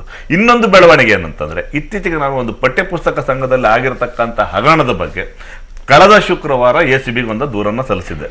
ಅದು ಕೂಡ ಒಂದು ವಾರ ಆದರೂ ಕೂಡ ಇನ್ನು ಯಾವುದೇ ರೀತಿಯಲ್ಲಿ ವಿಚಾರಣೆಗೆ ಕೂಡ ಆರಂಭ ಆಗಿಲ್ಲ. ಸರ್ ಈ ಬೆಳವಣಿಗೆ ನಡುವೆ ಮಂಡ್ಯದಿಂದ ಕೂಡ ನನ್ನ ಸಹೋದ್ಯೋಗಿ ಸಂತೋಷ್ ನೇರ ಸಂಪರ್ಕಕ್ಕೆ ಬಂದಿದ್ದಾರೆ. ಈ ಕ್ಷಣದ ಮಂಡ್ಯದ ಅಪ್ಡೇಟೆಡ್ ಮಾಹಿತಿಯನ್ನು ತೆಗೆದುಕೊಂಡು ಬರೋಣ. ನಮಸ್ಕಾರ ಸಂತೋಷ್. ಮಂಡ್ಯದ ಜನ. ಒಂದು, ನಿನ್ನೆ ನಡೆದಿರುವಂತಹ ಐ ಟಿ ರೇಡ್ ಇನ್ನೊಂದು ಕಡೆ ಅವರು ಪರದಾಡ್ತಿರುವಂತಹ ಅವರ ಹಣಕ್ಕೋಸ್ಕರ ಪರದಾಡ್ತಿರುವಂತಹ ಈ ದಿನಮಾನಗಳು. ಏನು ಹೇಳ್ತಾರೆ? ಹರೀಶ್ ನಾವೀಗ ಮಂಡ್ಯದಲ್ಲಿ ಬ್ಯಾಂಕ್ ಮುಂಭಾಗದಲ್ಲೇ ನಿಂತಿದ್ದೇವೆ ಅಂತಕ್ಕಂಥದ್ದು. ನಾವು ದೃಶ್ಯದಲ್ಲಿ ನೋಡಬಹುದು. ನಾವಿಲ್ಲಿ ಬ್ಯಾಂಕ್ ಮುಂಭಾಗದಲ್ಲಿ ಒಂದು ಕಡೆ ನಿಂತಿದ್ರೆ ಇಲ್ಲಿ ಮಂಡ್ಯದ ಜನರು ಇಲ್ಲಿ ಗುಂಪು ಗುಂಪಾಗಿ ನೆರೆದಿರೋದನ್ನ ನಾವು ಗಮನಿಸಬಹುದು. ಅದ್ರ ಜೊತೆಗೆ ಏನು ನಾವು ನಿಮಗೆ ಎ ಟಿ ಎಂ ನ ದೃಶ್ಯಾವಳಿಗಳನ್ನ ನಾವು ನಿಮಗೆ ತೋರಿಸ್ತಾ ಇದ್ದೀವಿ. ಏನು ಮಂಡ್ಯದ state bank A T M ಇದೆ. ಆ ಎ ಟಿ ಎಂ ಮುಂದೆ ಇನ್ನೂ ಕೂಡ ಸರದಿ ಸಾಲಿನಲ್ಲಿ ಜನ ನಿಂತಿದ್ದಾರೆ. ತಮ್ಮ ಎರಡು ಸಾವಿರ ಹಣವನ್ನ ಪಡೆಯೋದಿಕ್ಕೆ ಇಲ್ಲಿ ಜನ ಪರದಾಡ್ತಾ ಇರ್ತಕ್ಕಂಥದ್ದು. ಈ ಜನರು ಹಣವನ್ನ ಪಡಿಬೇಕು ಅಂದ್ರೆ ಎ ಟಿ ಎಂ ಮುಂದೆ ಸರದಿ ಸಾಲಿನಲ್ಲಿ ನಿಂತ್ಕೋಬೇಕು. ಸರದಿ ಸಾಲಿನಲ್ಲಿ ನಿಂತು ಒಂದ್ ವೇಳೆ ಹಣ ಸಿಕ್ಕಿದ್ರೆ ಅವ್ರ ಪುಣ್ಯ. ಹಣ ಸಿಗ್ಲಿಲ್ಲ ಅಂದ್ರೆ, ಅಯ್ಯೋ, ಹಣ ಸಿಗ್ಲಿಲ್ಲ ನಾಳೆ ಬರೋಣ ಅನ್ಕೊಂಡು ಸಂಕಷ್ಟದಲ್ಲಿ ಮನೆಗೆ ಹೋಗ್ಬೇಕು. ಆದ್ರೆ ಅಧಿಕಾರಿಗಳ ಮನೆಗಳ ಮೇಲೆ ದಾಳಿಯನ್ನ ನಡೆಸಿದಂತ ಸಂದರ್ಭದಲ್ಲಿ ಅಲ್ಲಿ ನಾಲ್ಕು ಪಾಯಿಂಟ್ ಏಳು ಕೋಟಿ ರೂಪಾಯಿ ಹೊಸ ನೋಟ್ ಸಿಗುತ್ತೆ. ಇದ್ರ ಬಗ್ಗೆ ಮಾತನಾಡೋದಕ್ಕೆ ಮಂಡ್ಯ ಜನರಿದ್ದಾರೆ, ಇಲ್ಲಿ ರೈತರಿದ್ದಾರೆ, ಸಾರ್ವಜನಿಕರಿದ್ದಾರೆ. ಮೊದಲಿಗೆ ರೈತ ಮುಖಂಡ ಆದಂತ ಸುರೇಶ್ ಅವರು ನಮ್ಮ ಜೊತೆಲೇ ಇದ್ದಾರೆ. ಏನ್ ಹೇಳ್ತೀರಾ ಇದ್ರ ಬಗ್ಗೆ? ಸರ್, ಇವಾಗ ಎರಡು ಸಾವಿರ ರೂಪಾಯಿ ತಗೊಳಕ್ಕೆ ಇದನ್ನ ಮೂರು ಗಂಟೆಯಿಂದ ಕಾದಿದ್ದೀನಿ. ಈ ಎರಡು ಸಾವಿರ ರೂಪಾಯಿ ಒಬ್ಬ ವ್ಯಕ್ತಿಗೆ ಕೊಡೋಕೆ ಅಂತ ಎ ಟಿ ಎಂ ಅಲ್ಲಿ ಡ್ರಾ ಮಾಡಕ್ಕೆ ಅಂತ ಹೇಳವ್ರೆ. ಇವತ್ತು ನೀರಾವರಿ, ಕಾವೇರಿ ನೀರಾವರಿ ಎಂ ಡಿ ಇದಾರಲ್ಲ ಚಿಕ್ಕರಾಯಪ್ಪ ಆ ಚಿಕ್ಕಾಯಪ್ಪನಿಗೆ ತಾವು ಹೊಸ ನೋಟು ಈ ನೋಟು ನಾಲ್ಕು ಕೋಟಿ, ನಾಲ್ಕು ಮುಕ್ಕಾಲು ಕೋಟಿ ಹೆಂಗ್ ಬತ್ತು? ಇವಾಗ ಯಾರು ಇಲ್ಲಿ ಯಾಕೆ ಬಡವರು ನಾವು ನಿಂತಿರೋರು ಇಲ್ಲಿ ಕ್ಯೂನ? ನನ್ನ ದುಡಿಮೆನ ಬಿಟ್ಬಿಟ್ಟು ಬಂದ್ಬಿಡ್ದಾನೆ ಈ ಎರಡು ಸಾವಿರ ರೂಪಾಯಿ ತಗೊಂಡು ಹೋಗಕ್ಕೆ ನಿಂತಿದ್ದೀನಿ. ಈ ಕೋಟಿಗಟ್ಟಲೆ ಹಣನ ಹೊಸ ನೋಟನ್ನ ಯಾವ ರೀತಿ ಅವ್ರಿಗೆ ಬರುತ್ತೆ? ಇದು ಸರಿಯಾ? ಇವಾಗ ಎಪ್ಪತ್ತೆಂಬತ್ತು ಜನ ಈ ರಾಜ್ಯದಲ್ಲಿ ಸತ್ತಿದ್ದಾರೆ. ಯಾರು ಉದ್ಯಮಿಗಳ ಸತ್ರ ಅಥವಾ ರಾಜಕಾರಣಿಗಳ ಸತ್ರ ಯಾರು ಸಹ ಅಧಿಕಾರಿಗಳು ಯಾರು ಸಾಯಲಿಲ್ಲ ಸತ್ತಂತವರು ನಮ್ಮಂತವರು. ಇದನ್ನ ಗಮನ ಇಟ್ಕೊಂಡ್ರೆ ಎಲ್ಲಿ ಕರ್ವಾಣ ಹಾಕ್ಬೇಕು, ಅಲ್ಲಿ ಕರ್ವಾಣ ಹಾಕ್ಬೇಕು ಅನ್ನೋದು ನಮ್ಮ ಒತ್ತಾಯ. ಏನ್ ಹೇಳ್ತೀರಿ? ನೀವು ಹಣಕ್ಕೆ ಕ್ಯೂ ನಿಂತಿದ್ದೀರಿ, ಹಣ ಸಿಗದಲ್ಲೇ ಪರದಾಡ್ತಾ ಇದ್ದೀರಿ. ಆದ್ರೆ ಅಧಿಕಾರಿಗಳ ಮನೆಯಲ್ಲಿ ಕೋಟಿ ಕೋಟಿ ಹಣ ಸಿಗುತ್ತೆ, ಅದು ಹೊಸ ನೋಟು. ಏನ್ ಅನ್ಸುತ್ತೆ ಇದು ನೋಡಿದ್ರೆ? ನೋಡಿ, ನಮ್ಮ ಕರ್ನಾಟಕದಲ್ಲಿ, ಭಾರತದಲ್ಲಿ ಎಲ್ಲರ ಹತ್ರನೂ ದೊಡ್ಡ ದೊಡ್ಡ ವ್ಯಕ್ತಿಗಳ ಹತ್ರ ಹಣ ಇದೆ. ನಮ್ಮಂಥ ಜನಸಾಮಾನ್ಯರು ದುಡಿಬೇಕು, ಇವತ್ತೊಂದು ಅದೇ ದುಡ್ಡಲ್ಲಿ ಖರ್ಚು ಮಾಡಬೇಕು. ಅವ್ರು ದುಡ್ಡುಗೋಸ್ಕರ ಅಂತಾನೆ ಇಟ್ಕೊಂಡು, ಈಗ ಅದು ಯಾವ ರೀತಿ ಬರ್ತಾ ಇದೆ ಅಂತ ಗೊತ್ತಿಲ್ಲ. ನಾಲ್ಕು ಕೋಟಿ ಅಂದ್ರೆ ಏನು ತಮಾಷೆನಾ? ಇವತ್ತು ಮಂಡ್ಯ ಜಿಲ್ಲೆಯಲ್ಲಿ ಅಷ್ಟು ಅಮೌಂಟ್ ಇಲ್ಲ ಎ ಟಿ ಎಂಗಳಲ್ಲಿ ಅಷ್ಟೊಂದು ಅಮೌಂಟ್ನ ಒಂದೇ ಮನೆಯಲ್ಲಿ ಒಬ್ಬ ಅಧಿಕಾರಿ ತಾವು ಇದೆ ಅಂದ್ರೆ ಇಂಥೊಟ್ಟು ಎಲ್ಲರ ಹತ್ರ ಹೇಗಿರ್ಬೋದು ಅನ್ನೋದು ನಮಗೆ ಏನ್ ಹೇಳ್ತೀರಿ ಬೆಳಿಗ್ಗೆಯಿಂದ ಕಾದಿದ್ದೀರಿ ಏನಿದೆ ಸಮಸ್ಯೆ? ಈಗ ಏನ್ ನಾಲ್ಕೂವರೆ ಕೋಟಿ ಹಣನ ನಮ್ಮ ಜಿಲ್ಲೆಗೆಲ್ಲ ಪೂರ ಹಾಕಿದ್ರೆ ಎಲ್ಲಾ ರೈತರಿಗೂ ಮತ್ತೆ ಸಾರ್ವಜನಿಕರಿಗೆ ಶ್ರೀಸಾಮಾನ್ಯಗೆ ದುಡ್ಡು ಸಿಕ್ತಿತ್ತೋ ಏನೋ? ನಾವು ಇಲ್ಲಿ ಲೈನ್ ನಿಂತ್ರು ನಮ್ ಬದುಕೆ ಮುಖ್ಯ ಅಂತ ನಾವು ಲೈನ್ ನಿಂತಿರ್ತಿರ್ವಿ ಬಿಟ್ಬಿಟ್ಟು ಬಂದು ಇಲ್ಲಿ ಕೊನೆಯಲ್ಲಿ ನೋಟೇ ಇಲ್ಲ ಅಂತ ಖಾಲಿ ಆಯ್ತು ಅಂತ ಹೇಳ್ತಾರೆ. ಆದ್ರೆ ಆ ಅಧಿಕಾರಿ ತಾವು ನಾಲ್ಕು ಮೂಲ ಮುಕ್ಕಾಲು ಕೋಟಿ ಹೆಂಗ್ ಬಂತು? ಯಾವ ಬ್ಯಾಂಕ್ ಅಧಿಕಾರಿಗಳು ಅವ್ರಿಗೆ ಶಾಮೀಲಾಗಿದ್ದಾರೋ? ಅಷ್ಟು ಹೊಸ ನೋಟ್ ಕೊಡೋಕೆ. ಅದನ್ನ ತನಿಖೆ ಮಾಡಿ ಫಸ್ಟು ಇದಿಷ್ಟು ಮಂಡ್ಯದ ಜನ ಹೇಳ್ತಾ ಇರ್ತಕ್ಕಂಥದ್ದು, ಕೋಟಿ ಕೋಟಿ ಹಣ ಇವತ್ತು ಲೂಟಿಕೋರರ ಮನೆಯಲ್ಲಿದೆ. ಹೊಸ ನೋಟುಗಳು, ಎರಡ್ ಸಾವಿರದ ಮುಖಬೆಲೆಯ ಹೊಸ ನೋಟುಗಳಿದೆ. ಅವ್ರ ಬಳಿ ಆ ಹಣ ಹೇಗ್ ಬಂತು, ತನಿಖೆ ಆಗ್ಬೇಕು, ಯಾರು ತಪ್ಪಿತಸ್ಥರಿದ್ದಾರೆ, ಇದರಲ್ಲಿ ಬ್ಯಾಂಕ್, ಬ್ಯಾಂಕ್ನವರು ಶಾಮೀಲಾಗಿದ್ದಾರಾ, ಅಥವಾ ಮತ್ತೆ ಹೇಗೆ ಅವ್ರ ಹತ್ರ ಹಣ ಬಂತು, ಎಲ್ಲಾ ತನಿಖೆಯಾಗಿ ತಪ್ಪಿತಸ್ಥರಿಗೆ ಶಿಕ್ಷೆ ಆಗ್ಬೇಕು ಅನ್ನೋ ಮಾತು ಹೇಳ್ತಿದ್ದಾರೆ Harish. Thank you so much Santosh. ಮಂಡ್ಯದಿಂದ ನನ್ನ ಕೊಲೆಗೆ ಈ ಕ್ಷಣಕ್ಕೆ ಅಪ್ಡೇಟೆಡ್ ಮಾಹಿತಿ ಕೊಡ್ತಿದ್ದಾರೆ. ನಿನ್ನೆ ಇಂದ ಸುಮಾರು ಇವತ್ತು ಮುಂಜಾನೆ ಮೂರುವರೆ ತನಕ ಸರಿಸುಮಾರು ಹದಿನೆಂಟು ಗಂಟೆಗಳ ಕಾಲ ಐ ಟಿ ಅಧಿಕಾರಿಗಳು ಅವರ ಮನೆಯಲ್ಲಿ ಶೋಧ ಕಾರ್ಯ ನಡೆಸ್ತಾರೆ. ಚಿಕ್ಕರಾಯಪ್ಪ ಮತ್ತು ಜಯಚಂದ್ರ ಇವರಿಬ್ಬರ ಮನೆ ಏಕಕಾಲದಲ್ಲಿ ರೇಡ್ ಆಗುತ್ತೆ. ಚಿಕ್ಕರಾಯಪ್ಪನವರು ಕಣ್ಣನ್ ಬೋರ್ವೆಲ್ಸ್ ಚಕ್ರವರ್ತಿಗೆ ನೂರು ಕೋಟಿಯ ಏನು ಮೊತ್ತದ ಗುತ್ತಿಗೆ ಕೊಡ್ತಾರೆ, ಅಲ್ಲಿಂದ ಚಕ್ರವರ್ತಿಯ ಸುಳಿವು ಸಿಗುತ್ತೆ. ಇನ್ನು ಈ ಆಯಕಟ್ಟಿನ ಜಾಗಗಳಿಗೆ ನೀವು ಹೋಗಬೇಕು ಅಂದರೆ ನಜೀರ್ನ ಹಿಡ್ಕೋಬೇಕು. ಹಾಗಾದರೆ ಮಾತ್ರ ಆ ಪ್ಲೇಸ್ಗೆ ಹೋಗೋಕೆ ಸಾಧ್ಯ. ಹೀಗಾಗಿ ನಜೀರ್ ಸಿಕ್ಕಾಕೋತಾರೆ. ಹೀಗೆ ಕೋಟಿ ಕೋಟಿ ಹಣ ಒಟ್ಟುಗೂಡುತ್ತೆ. ಅದರಲ್ಲಿ ತುಂಬ ಹುಬ್ಬೇರಿಸೋ ಹಾಗೆ ಮಾಡಿದ್ದು ಎರಡು ಸಾವಿರ ಪಿಂಕ್ ಆ ನೋಟು ಸುಮಾರು ಐದು ಕೋಟಿ ಎಷ್ಟಿತ್ತು ಅನ್ನೋದೇ ನಮ್ಮ ಜನಗೆ ಈಗ ತಡೆದುಕೊಳ್ಳಲಾರದಂಥ ಒಂದು ಆಕ್ರೋಶ ಯಾರು ಈ ಕೆಲಸ ಮಾಡ್ತಿರೋರು ಅಂತ. ಅಫ್ಕೋರ್ಸ್ ಅದ್ರ ಬಗ್ಗೆ ಈಗ ಎನ್ಕ್ವೈರಿ ಆಗ್ತಿದೆ. ಇಬ್ಬರನ್ನ ಬರೀ ಅಮಾನತ್ ಮಾಡಿದ್ದಾರಷ್ಟೇ. ಅಮಾನತ್ತೆಲ್ಲ ಬರೀ ಮೂಗುಗೆ ತುಪ್ಪ ಒರೆಸುವಂಥ ಕೆಲಸ ನಮ್ಮ ರಾಜಕಾರಣಿಗಳು ಮಾಡ್ತಿರೋದು ಹಿಂಗೆ ಅಂತ ಶಿವಕುಮಾರ್ ಆಗಲಿ ಭಾಸ್ಕರ್ನಾಗಲಿ ಮತ್ತು ಸಾಯಿ ದತ್ತ ಅವರು ಆರ್ ಟಿ ಎ ಕಾರ್ಯಕರ್ತರು ಅದನ್ನೇ ಹೇಳ್ತಿರೋದು. ಇದೀಗ ಒಂದು breaking news let's take look ಈಗ ಬರ್ತಿರುವಂಥ ಬ್ರೇಕಿಂಗ್ ನ್ಯೂಸ್ ಏನು ಅಂತ. ಕೋಟಿ ಕೋಟಿ ಹಣ ಸಿಕ್ಕಿದ್ದು ಜಯಚಂದ್ರ ಅವರ ಗೆಸ್ಟ್ ಹೌಸ್ನಲ್ಲಿ ಸಿಎಂ ಆಪ್ತರಿಗೆ ತಟ್ಟಿದೆ. ಆದಾಯ ತೆರಿಗೆ ಅಧಿಕಾರಿಗಳ ಈ ಬಿಸಿ ಏಟು. ಆದಾಯ ತೆರಿಗೆಗಳ ಶೋಧ ಕೈಗೊಂಡಿದ್ದ ಮನೆಗಳ ಮೇಲೆಲ್ಲ ಅದು ಅವರ ಗೆಸ್ಟ್ ಹೌಸ್ ಮೇಲೆ ಅನ್ನೋ ಮಾಹಿತಿ ಕೋಟಿ ಕೋಟಿ ರೂಪಾಯಿ ಸಿಕ್ಕಿದ್ದು ಮನೆಯಲ್ಲಿ ಅಲ್ಲ. ಇದು ಈಗ ಬರ್ತಿರುವಂತಹ ಈ ಕ್ಷಣದ ಬ್ರೇಕಿಂಗ್ ನ್ಯೂಸ್. ಇಂಜಿನಿಯರ್ ಜಯಚಂದ್ರ ಅವರ ಗೆಸ್ಟ್ ಹೌಸ್ನಲ್ಲಿ ಈ ಕೋಟಿ ಕೋಟಿ ಹಣ ಸಿಕ್ಕಿದ್ದು. ಎಸ್ ಪೆಬಲ್ ಬೇ ಅಪಾರ್ಟ್ಮೆಂಟ್ ಫ್ಲ್ಯಾಟ್ನಲ್ಲಿರುವಂತಹ ಜಯಚಂದ್ರ ಅವರು, ಆ ಜಯಚಂದ್ರ ಅವರು ಅಲ್ಲಿ ವಾಸ ಇರಲಿಲ್ಲ ಅನ್ನೋದು ಮೆನ್ಷನ್ ಮಾಡ್ತಿದ್ದೀವಿ. ತಮ್ಮ ಕುಟುಂಬ ಸಮೇತ ಅವರು ವಾಸವಾಗಿರೋದು ಚಂದ್ರ ಲೇಔಟ್ನಲ್ಲಿ ಆದರೆ ಈ ದುಡ್ಡು ಸಿಕ್ಕಿದ್ದು ಪೆಬಲ್ ಬೇ ಮತ್ತು ಫ್ಲ್ಯಾಟ್ ಅತಿಥಿ ಸತ್ಕಾರಕ್ಕಾಗಿ ಹಣ ಆಸ್ತಿಯನ್ನು ಎತ್ತಿಡೋಕ್ಕೋಸ್ಕರ ಇಟ್ಟುಕೊಂಡಿದ್ದಂಥ ಮಗದೊಂದು ಐಷಾರಾಮಿ ಮನೆ ಅದು. ಜನ ಒಂದು ಮನೆ ಮಾಡ್ಕೊಳ್ಳೋಕೆ ಬೆಂಗಳೂರಿನಲ್ಲಿ, ಕರ್ನಾಟಕದಲ್ಲಿ ಎಷ್ಟೆಲ್ಲ ಕನಸು ಕಟ್ತಾರೆ ಮಧ್ಯಮ ವರ್ಗದವರು. ಇಲ್ಲಿ ನೋಡಿ ಬ್ರೇಕಿಂಗ್ ನ್ಯೂಸ್ ಇದು. ಜಯಚಂದ್ರ ಅವರ ಕುಟುಂಬ ಇದ್ದದ್ದು ಚಂದ್ರ ಲೇಔಟ್ನಲ್ಲಿ ಹೀಗಾಗಿ ಗೆಸ್ಟ್ ಹೌಸ್ ಮೇಲೂ ಕೂಡ ಐ ಟಿ ಅಧಿಕಾರಿಗಳು ದಾಳಿ ಮಾಡಿ ಈಗ ಫಿನಿಶ್ ಮಾಡಿದ್ದಾರೆ. ಅತಿಥಿ ಸತ್ಕಾರಕ್ಕಾಗಿಯೇ ಇಟ್ಕೊಂಡಿದ್ರು ಇದನ್ನ ಅಂತ ಅನಿಸ್ತಾ ಇದೆ. ಇವರ ಸತ್ಕಾರ ಯಾರ್ಯಾರು ಪಡ್ಕೊಂಡಿದ್ದಾರೆ ಅನ್ನೋ ಕ್ವಶನ್ ಈಗ ಶುರುವಾಗುತ್ತೆ. ಯಾರ್ಯಾರು ಅಲ್ಲಿಗೆ ಬಂದು ಹೋಗ್ತಿದ್ರು ಅನ್ನೋ ಕ್ವಶನ್ ಶುರುವಾಗುತ್ತೆ. ಪೆಬಲ್ ಬೇ ಅತಿಥಿ ಪುಸ್ತಕ. ಸಾಮಾನ್ಯವಾಗಿ ಯಾವುದೇ ಅಪಾರ್ಟ್ಮೆಂಟ್ಗೆ ಬರ್ಬೇಕಾದ್ರೆ ಗೆಸ್ಟ್ ಬುಕ್ ಅಂತ ಒಂದಿರುತ್ತೆ. ಅದನ್ನ ಮೆನ್ಷನ್ ಮಾಡಿರ್ತಾರೆ. ಹಾಗಾದರೆ ಅಲ್ಲಿಯ ಅತಿಥಿ ಪುಸ್ತಕ ಏನು ಹೇಳುತ್ತೆ? ಸಿ ಸಿ ಬಿ ಕ್ಯಾಮ್ರಾಗಳಿಂದ ಸಿ ಸಿ ಟಿ ವಿ ಕ್ಯಾಮ್ರಾಗಳನ್ನ ಅಳವಡಿಸಲಾಗಿರುತ್ತೆ. ಅದನ್ನ ತನಿಖೆಗೆ ಒಳಪಡಿಸಬೇಕು. ಐ ಟಿ ಅಧಿಕಾರಿಗಳು ಈಗ ಅದ್ರ ಮೇಲೆ ಕಣ್ಣು ಹಾಕಿದ್ದಾರೆ ಅನ್ನೋ ಮಾಹಿತಿ ಕೂಡ ಲಭ್ಯ ಆಗ್ತಾ ಇದೆ. ವೆರಿ ಗುಡ್ ಇದನ್ನೊಂದು ರೀತಿ ತ್ರೀ ಸಿಕ್ಸ್ಟಿ ಡಿಗ್ರಿ ಕವರ್ ಮಾಡ್ದಂಗಿದೆ ಐ ಟಿ ಅಧಿಕಾರಿಗಳು. ಅಂದ್ರೆ ಎಲ್ಲೂ ಕೂಡ ಲೂಪ್ ಹೋಲ್ಸ್ ಇರಬಾರ್ದು. ಯಾವುದೇ ಕ್ಷಣದಲ್ಲಿ ಯಾರು ಬಂದು ಹೋಗ್ತಿದ್ರು? ಯಾಕೆಂದರೆ ಒಬ್ಬರು ಹಿಡಿದ್ವಿ ಅಂದ್ರೆ ಅವ್ರಿಗೆ ಸಪೋರ್ಟಿವ್ ಆಗಿ ಇನ್ನೆಷ್ಟು ಜನ ಇದ್ದಾರೆ ಅವ್ರನ್ನ ಹಾಗೇ ನೆಟ್ವರ್ಕ್ ಅಲ್ಲಿ ಹಿಡಿದ್ರೆ ಇದನ್ನ ಮಟ್ಟ ಹಾಕಬಹುದು ಅಂತ ಡಿಸೈಡ್ ಮಾಡ್ಕೊಂಡಂಗೆ ಕಾಣಿಸ್ತಾ ಇದೆ ಆದಾಯ ತೆರಿಗೆ ಅಧಿಕಾರಿಗಳು. ಇದೀಗ ಬರ್ತಾ ಇರುವ ಬ್ರೇಕಿಂಗ್ ನ್ಯೂಸ್ ಜಯಚಂದ್ರ ಅವರ ಈ ಕೋಟಿ ಕೋಟಿ ಹಣ ಸಿಕ್ಕಿದ, ಸಿಕ್ಕಿದ್ದು ಹೇಗೆ ಅನ್ನುವುದಕ್ಕೆ ಉತ್ತರ.